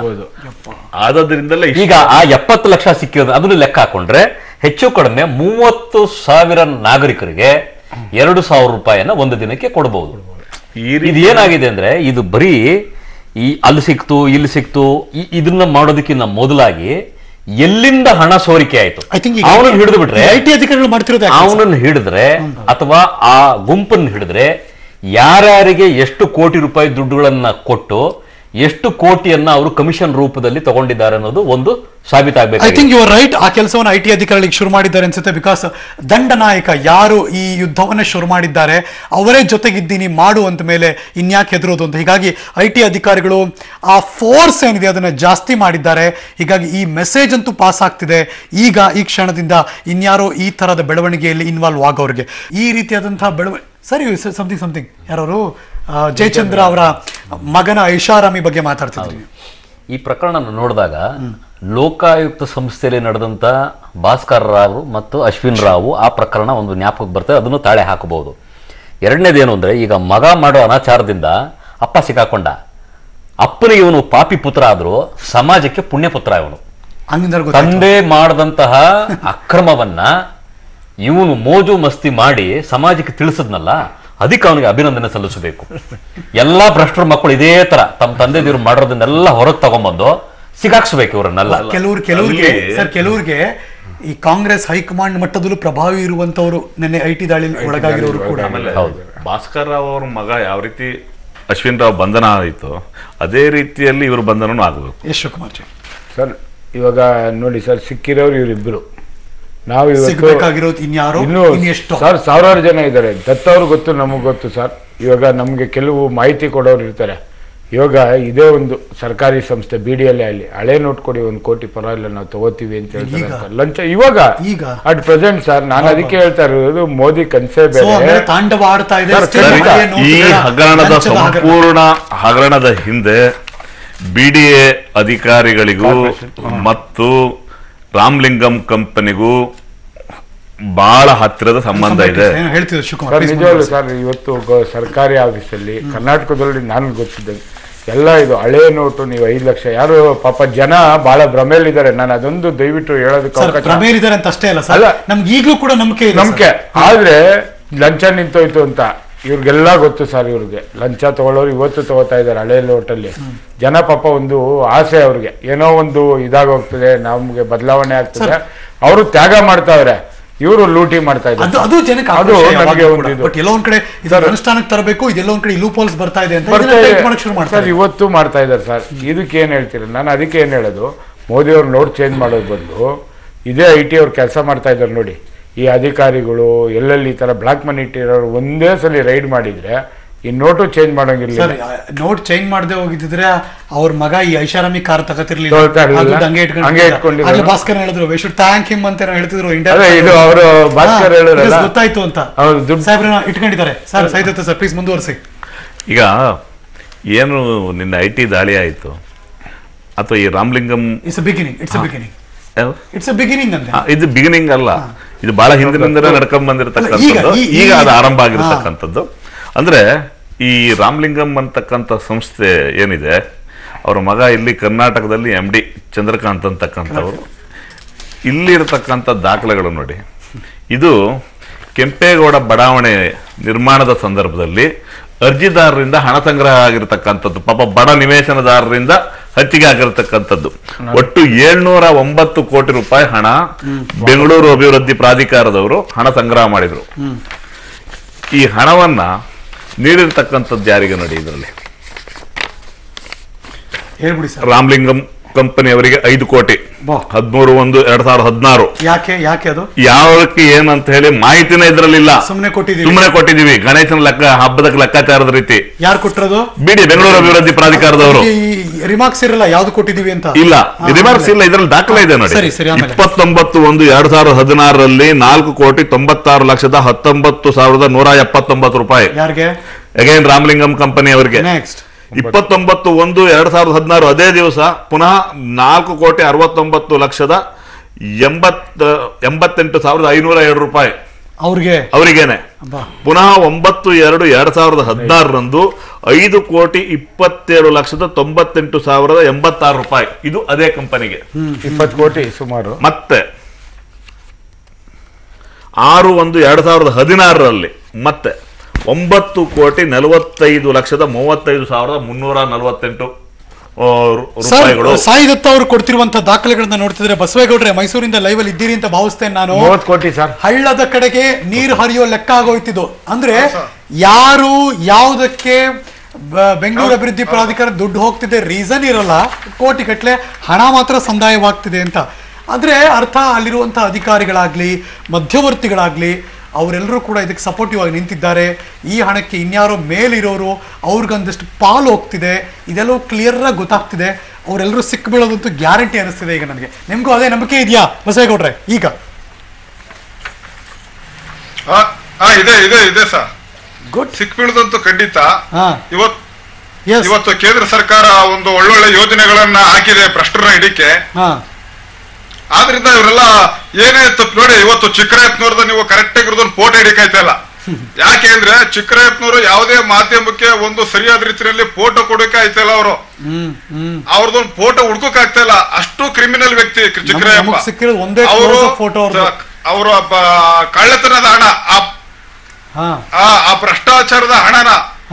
ಆ ಕಾಪಾಡ್ಕೊಳ್ಳೋಕೆ ಏನೇನ್ ದಾರಿ ಇದೆಯೋ ಎಲ್ಲರೂ ಮಾಡಿದ್ದಾರೆ. ನಿಮ್ಗೆ ಮಾಧ್ಯಮದ ಮೇಲೆ ಸ್ಟೇ ತೆಗಿದ್ದಾರೆ ತನಿಖಾಧಿಕಾರಿಗಳ ಮೇಲೆ ಸ್ಟೇ ತೆಗಿದ್ದಾರೆ ಇನ್ನು ಸುಪ್ರೀಂ ಕೋರ್ಟ್ ಹೋಗೋದೊಂದು ಬಾಕಿ ಇದೆ. ಅಲ್ಲಿವರೆಗೂ ಇಲ್ಲಿ ಲೋಕಲ್ ಅಲ್ಲಿ ನಮ್ಮ ರಾಜ್ಯದಲ್ಲಿ ಏನ್ ತನಿಖಾ ಸಂಸ್ಥೆ ಇದೆ ಹೈಕೋರ್ಟ್ ಸಮೇತ ಎಲ್ಲಾದ್ರಲ್ಲೂ ಕೂಡ ಅವರು ಕೈಯಾಡಿಸಿದ್ದಾರೆ ಈ ಭ್ರಷ್ಟಾಚಾರದ ಹಣವನ್ನ ಈ ನಮ್ಮ ಐ ಟಿ ಸಾಹೇಬ್ರುಗಳು ದಾಳಿ ಮಾಡಿ ಇಡಿಲ್ಲ ಅಂದಿದ್ರೆ ಅವರ ಒಂದು ಭ್ರಷ್ಟ ಅವರ ಒಂದು ರಿಟೈರ್ಡ್ ಆದ್ಮೇಲೆ ಅದನ್ನ ಹಿಡಿಕಾಯ್ತಿರ್ಲಿಲ್ಲ. ಯಾವ್ದಾರ ಒಂದು ಉದ್ಯಮವಾಗಿ ಪರಿವರ್ತನೆ ಆಯ್ತಾ ಇದ್ರು. ಈಗ ಆಸ್ತಿಗಳು ಇದ್ರು. ಇದೆ ಅಪಾರ್ಟ್ಮೆಂಟ್ ಇದೆ ಗೆಸ್ಟ್ ಹೌಸ್ ಇದೆ ಅಂತೆಲ್ಲ ಚೆಕ್ ಮಾಡಿಸ್ತಿದ್ವಿ ನಾವು. ಮೈಸೂರು ಭಾಗದಲ್ಲಿ ಅವ್ರದ್ದೇನು ಇಲ್ವಾ ಸರ್? ಹೌದೌದು ಹೌದೌದು ಸರ್ ಅದು ಮೈಸೂರು ಭಾಗದಲ್ಲಿ ನಮಗೆ ಗೊತ್ತಿಲ್ಲ. ಆದ್ರೆ ಅವರು ಒಬ್ಬ ಭ್ರಷ್ಟ ಅನ್ನೋದು ನಮಗೆ ಗೊತ್ತು. ಆದ್ರೆ ಆಸ್ತಿ ವಿವರ ಎಲ್ಲಿ ಎಲ್ಲಿ ಅಂತ ಗೊತ್ತಿಲ್ಲ. ಆದ್ರೆ ಅವರು ಭ್ರಷ್ಟಾಚಾರಿ ಇರೋದಂತೂ ಅವರು ಭ್ರಷ್ಟಾಚಾರ ಮಾಡ್ತಾ ಇದ್ರೆ ಮೈಸೂರು ಭಾಗದವ್ರು ಇಲಾಖೆ ಅವರು ಅಧಿಕಾರಿ ಕೆಲಸ ಮಾಡ್ತಾರೆ ಒಬ್ಬ ರಾಜಕಾರಣಿ. ಹೀಗಾಗಿ ಆ ಭಾಗದಲ್ಲಿ ಒಂದಷ್ಟು ಏನಾದರೂ ಸಿ ಎಂ ಆಪ್ತರು ಅಂತ ಒಂದು ಪ್ರಶ್ನೆ ಇತ್ತಲ್ಲ, ಹಿಂಗಾಗಿ ಆ ಭಾಗದ ಸಿ ಎಂ ಆಗಿರೋದ್ರಿಂದ, ಆ ಭಾಗದ ಲೋಕೋಪಯೋಗಿ ಸಚಿವರಾಗಿರೋದ್ರಿಂದ, ಆ ಭಾಗದ ಪವರ್ಫುಲ್ ಒಂದಷ್ಟು ಮಿನಿಸ್ಟರ್ಗಳಾಗಿರೋದ್ರಿಂದ ಏನಾದರೂ ಇದೆಯಾ ಅಂತ ಕುತೂಹಲದ ಪ್ರಶ್ನೆ ಅಷ್ಟೇ, ಮತ್ತಿನ್ನೇನೂ ಇಲ್ಲ. ಥ್ಯಾಂಕ್ ಯು ಸೊ ಮಚ್ ಬಸವೇಗೌಡ್ರೆ. ನಮ್ಮ ಜೊತೆ ಇವತ್ತಿನ ಕಾರ್ಯಕ್ರಮದಲ್ಲಿ ಜಾಯಿನ್ ಆಗಿದ್ದಕ್ಕೆ ಒಂದಷ್ಟು ಒಡಿಯುಸೆ ಸಮಾಜ ಘಾತಕರಾಗಿ ಯಾರೋ ಇದ್ದಾರೆ ಒಂಥರ ಬೂದಿ ಮುಚ್ಚಿದ ಕೆಂಡದ ಹಾಗೆ ಯಾರೋ ಮಾಡ್ತಿದ್ದಾರೆ ಅಂದ್ರೆ ಈಗ ಹೆಕ್ಕಿ ತೆಗೆಯುವಂಥ ಪ್ರಯತ್ನ ನಡೀತಾ ಇದು. ಆಗಬೇಕಾಗಿತ್ತು ಹಂಗೆ ನೋಡಕ್ ಹೋದ್ರೆ ಜನ ಹೆಂಗ್ ಕೋಪರೇಟ್ ಮಾಡ್ಬೋದು ಇದಕ್ಕೆ? ಹೆಂಗ್ ಕೋಪರೇಟ್ ಮಾಡ್ತಾರೆ ಅಂತ? ಜನ ಏನಂದ್ರೆ ಇವತ್ತು ಇದು ಹಿಡಿದು ನಾವು ನೋಡ್ಬೇಕು ಅಂತ ಆಸೆ ಪಟ್ಟಿದ್ದೀನಿ ಅವಾಗ. ಖಂಡಿತ. ಜನ ಇವಾಗ ಏನು ಮಾಡ್ತಾರೆ ಇದನ್ನ ಅಭಿನಂದಿಸ್ತಾರೆ ಒಂದಿದು. ಆಮೇಲೆ ಒಂದು ಪ್ರೆಜರ್ ಒಂದು ಬೀಳ್ತದೆ. ನಾವ್ ಹಿಂಗ್ ಕಾಯ್ತಾ ಇದೀವಿ ಇವ್ರ ಮನೇಲಿ ಐದು ಕೋಟಿ ಸಿಕ್ತು. ಅಂದಾಗ ಐ ಟಿ ಅಧಿಕಾರಿಗಳು ಇನ್ನೂ ಹೆಚ್ಚಿನ ಕೆಲಸ ಮಾಡ್ತಾರೆ. ಏನಂದ್ರೆ ಪಾಪ ಅವ್ರಿಗೆ ಸ್ಟಾಫ್ ಕಮ್ಮಿ ಐ ಟಿ ಇವತ್ತು ನೂರಾರು ಈಗೆಲ್ಲ ರಿಟೈರ್ಡ್ ಎಂಪ್ಲಾಯೀಸ್ ತಗೊಂಡಿದ್ದಾರೆ. ಆಪರೇಷನ್. ಎಂಪ್ಲಾಯೀಸ್ ಬಂದಿದ್ದಾರೆ ದೇಶದ ಅಂಥದ್ರಲ್ಲೂ ಇವತ್ತಿನ ದಿವಸ ಏನಾಗ್ತದೆ ಐ ಟಿ ಅವರು ಅಷ್ಟೇ. ಆಮೇಲೆ ಇವತ್ತು ಕೇಂದ್ರ ಸರ್ಕಾರಕ್ಕೆ ಇದೊಂದು ಮುಖಭಂಗು ತರ ಆಗ್ತದೆ. ಇನ್ನ ಜಾಸ್ತಿ ಕೆಲಸ ಮಾಡ್ತಾರೆ ಅಂತ ನಾನು ಅನ್ಕೊಂಡಿದ್ದೀನಿ. ಯಾಕಂದ್ರೆ ಇಂಥವ್ರನ್ನೆಲ್ಲ ಹಿಡಿದು ಫಸ್ಟ್ ಇಂಥ ದೊಡ್ಡ ದೊಡ್ಡದು ಆಮೇಲೆ ನಾನು ಮೊದಲು ಹೇಳೋದಂದ್ರೆ ಇವಾಗ ಸೀಸ್ ಮಾಡಿ ಕೋರ್ಟ್ ಯೂಸ್ ಮಾಡ್ತಾರೆ ಇದು ಆರು ಕೋಟಿನೋ ಐದು ಕೋಟಿನೋ. ಅದು ವರ್ಷಾನ್ಗಟ್ಲೆ ಬೇಕು ಅಲ್ಲೇ ಇರುತ್ತೆ. ಅದ್ರ ಬದಲು ಅದನ್ನ ಬ್ಯಾಂಕ್ ಕಳಿಸ್ಬಿಟ್ಟು ಫೋಟೋ ತಕೊಂಡು ಸಾಕ್ಷಿ ಪ್ರೊಸೀಜರ್ ಇರುತ್ತೆ ಅದು. ಎಕ್ಸ್ ಗ್ರೋ ಅಕೌಂಟ್ ಅಲ್ಲಿ ಯಾವುದೇ ರೈಡ್ ಆದಾಗ ಕೂಡ ಎಕ್ಸ್ ಗ್ರೋ ಅಕೌಂಟ್ ಹೋಗುತ್ತೆ. ಅಲ್ಲಿ ಇದು ತೀರ್ಮಾನ ಆಗೋ ತನಕ ಅಲ್ಲೇ ಅಲ್ಲೇ ಇರುತ್ತೆ. ಆಮೇಲೆ ಇದ್ರ ಮೂಲ ದಾಖಲೆಗಳು ಸಿಕ್ಕರೆ ಅಥವಾ ಸಿಗದೆ ಹೋದ್ರೆ ಆಮೇಲೆ ಅದನ್ನ ಜನರ ಉಪಯೋಗಕ್ಕೆ ಕೊಡಲಾಗುತ್ತೆ. ತನಕ ಅದನ್ನ ಕೊಡಲ್ಲ. ಇವಾಗ ಬ್ಯಾಂಕ್ ಒಂದು ಕೊಟ್ರೆ ಹೊಸ ನೋಟು. ಜನಕ್ಕೆ ಒಂದು ಇದಾಗ್ತದೆ. ಪ್ರಿಂಟಿಂಗ್ದು ಇವಾಗ ಅಭಾವ. ಜನಕ್ಕೆ ಅನುಕೂಲ ಆಗ್ತದೆ ಅಂತ. ಒಂದು ಇವಾಗ ಕೇಂದ್ರ ಸರ್ಕಾರ ಎಚ್ಚೆತ್ಕೋತಾರೆ ಮೋದಿ ಒಳ್ಳೆ ಇದ್ರಲ್ಲಿ ಮಾಡಿದ್ರು. ಗೊತ್ತು ಇದು ಎಲ್ಲ ಈ ತರ ಹೋಗ್ತಾ ಇರೋದು ಗೊತ್ತಿರೋದಕ್ಕೆ ಐವತ್ತು ಪರ್ಸೆಂಟ್ ಮಾಡಿದ್ದಾರೆ. ಇನ್ನೊಂದು ಸ್ವಲ್ಪ ಇದು ಸ್ಟ್ರಿಕ್ಟಾಗಿ ಆಗಿ ಆಕ್ಷನ್ ತಗೋತಾರೆ ಅಂತ. ಯಾಕಂದ್ರೆ ಒಬ್ಬ ಪ್ರಧಾನಿ ಒಬ್ಬ ಐ ಟಿ ಅಧಿಕಾರಿಗಳು ಮುಂದೆ ಫೋನಲ್ಲಿ ಮಾತಾಡಿ ಒಳ್ಳೆ ಬೆಳವಣಿಗೆ, ಅದು. ಒಂದು ಏನಾಗ್ತದೆ ಎಲ್ಲ ಐ ಟಿ ಅಧಿಕಾರಿಗಳಿಗೂ ಒಂದು ಇದು ಕೊಟ್ಟಂಗೆ ಸ್ಟೇಟ್ಮೆಂಟ್ ಶಿಪ್ ಅನ್ನ ನೋಡಕ್ ಹೋದ್ರೆ ಅದೊಂದು ಅದೊಂದು ಗೆಸ್ಟರ್ ತೋರಿಸ್ತಾರೆ ಜೆಸ್ಟರ್ ತೋರಿಸ್ತಾರೆ ನರೇಂದ್ರ ಮೋದಿ ಈ ಮೂಲಕ ಅಂತ. ಓಕೆ ನವೆಂಬರ್ ಎಂಟರಂದು ನೋಟು ನಿಷೇಧ ಬಳಿಕ ಪ್ರಧಾನಿ ಮೋದಿ ಈಗ ಬಂಗಾರದ ಮೇಲೆ ಬ್ರಹ್ಮಾಸ್ತ್ರ ಪ್ರಯೋಗಿಸಿದ್ದಾರೆ. ನೋಟು ನಿಷೇಧ ಆದ ದಿನದಂದೇ ಚಿನ್ನಾಭರಣವನ್ನು ಖರೀದಿಸಿ ಕಪ್ಪು ಹಣವನ್ನ ಬಿಳಿ ಮಾಡಿಕೊಂಡಿರುವ ವರದಿಗಳು ಕೇಳಿ ಬಂದಿತ್ತು. ಈ ಹಿನ್ನೆಲೆಯಲ್ಲಿ ಚಿನ್ನದ ಮೇಲೆ ಹೂಡಿಕೆ ಮಾಡಿರುವ ಕಾಳ ಧನಿಕರಿಗೆ ಬಿಸಿ ಮುಟ್ಟಿಸಿದ್ದಾರೆ. ಹಾಗಾದ್ರೆ ಚಿನ್ನದ ಮೇಲೆ ಯಾರಿಗೆ ಎಷ್ಟು ಮಿತಿಯನ್ನ ಇದೆ ಅಂತ ನೋಡೋಣ. ಜನ್ಧನ್ ಖಾತೆದಾರರ ಮೇಲೆ ಐಟಿ ಕೆಂಗಣ್ಣು ಬೀರಿದೆ.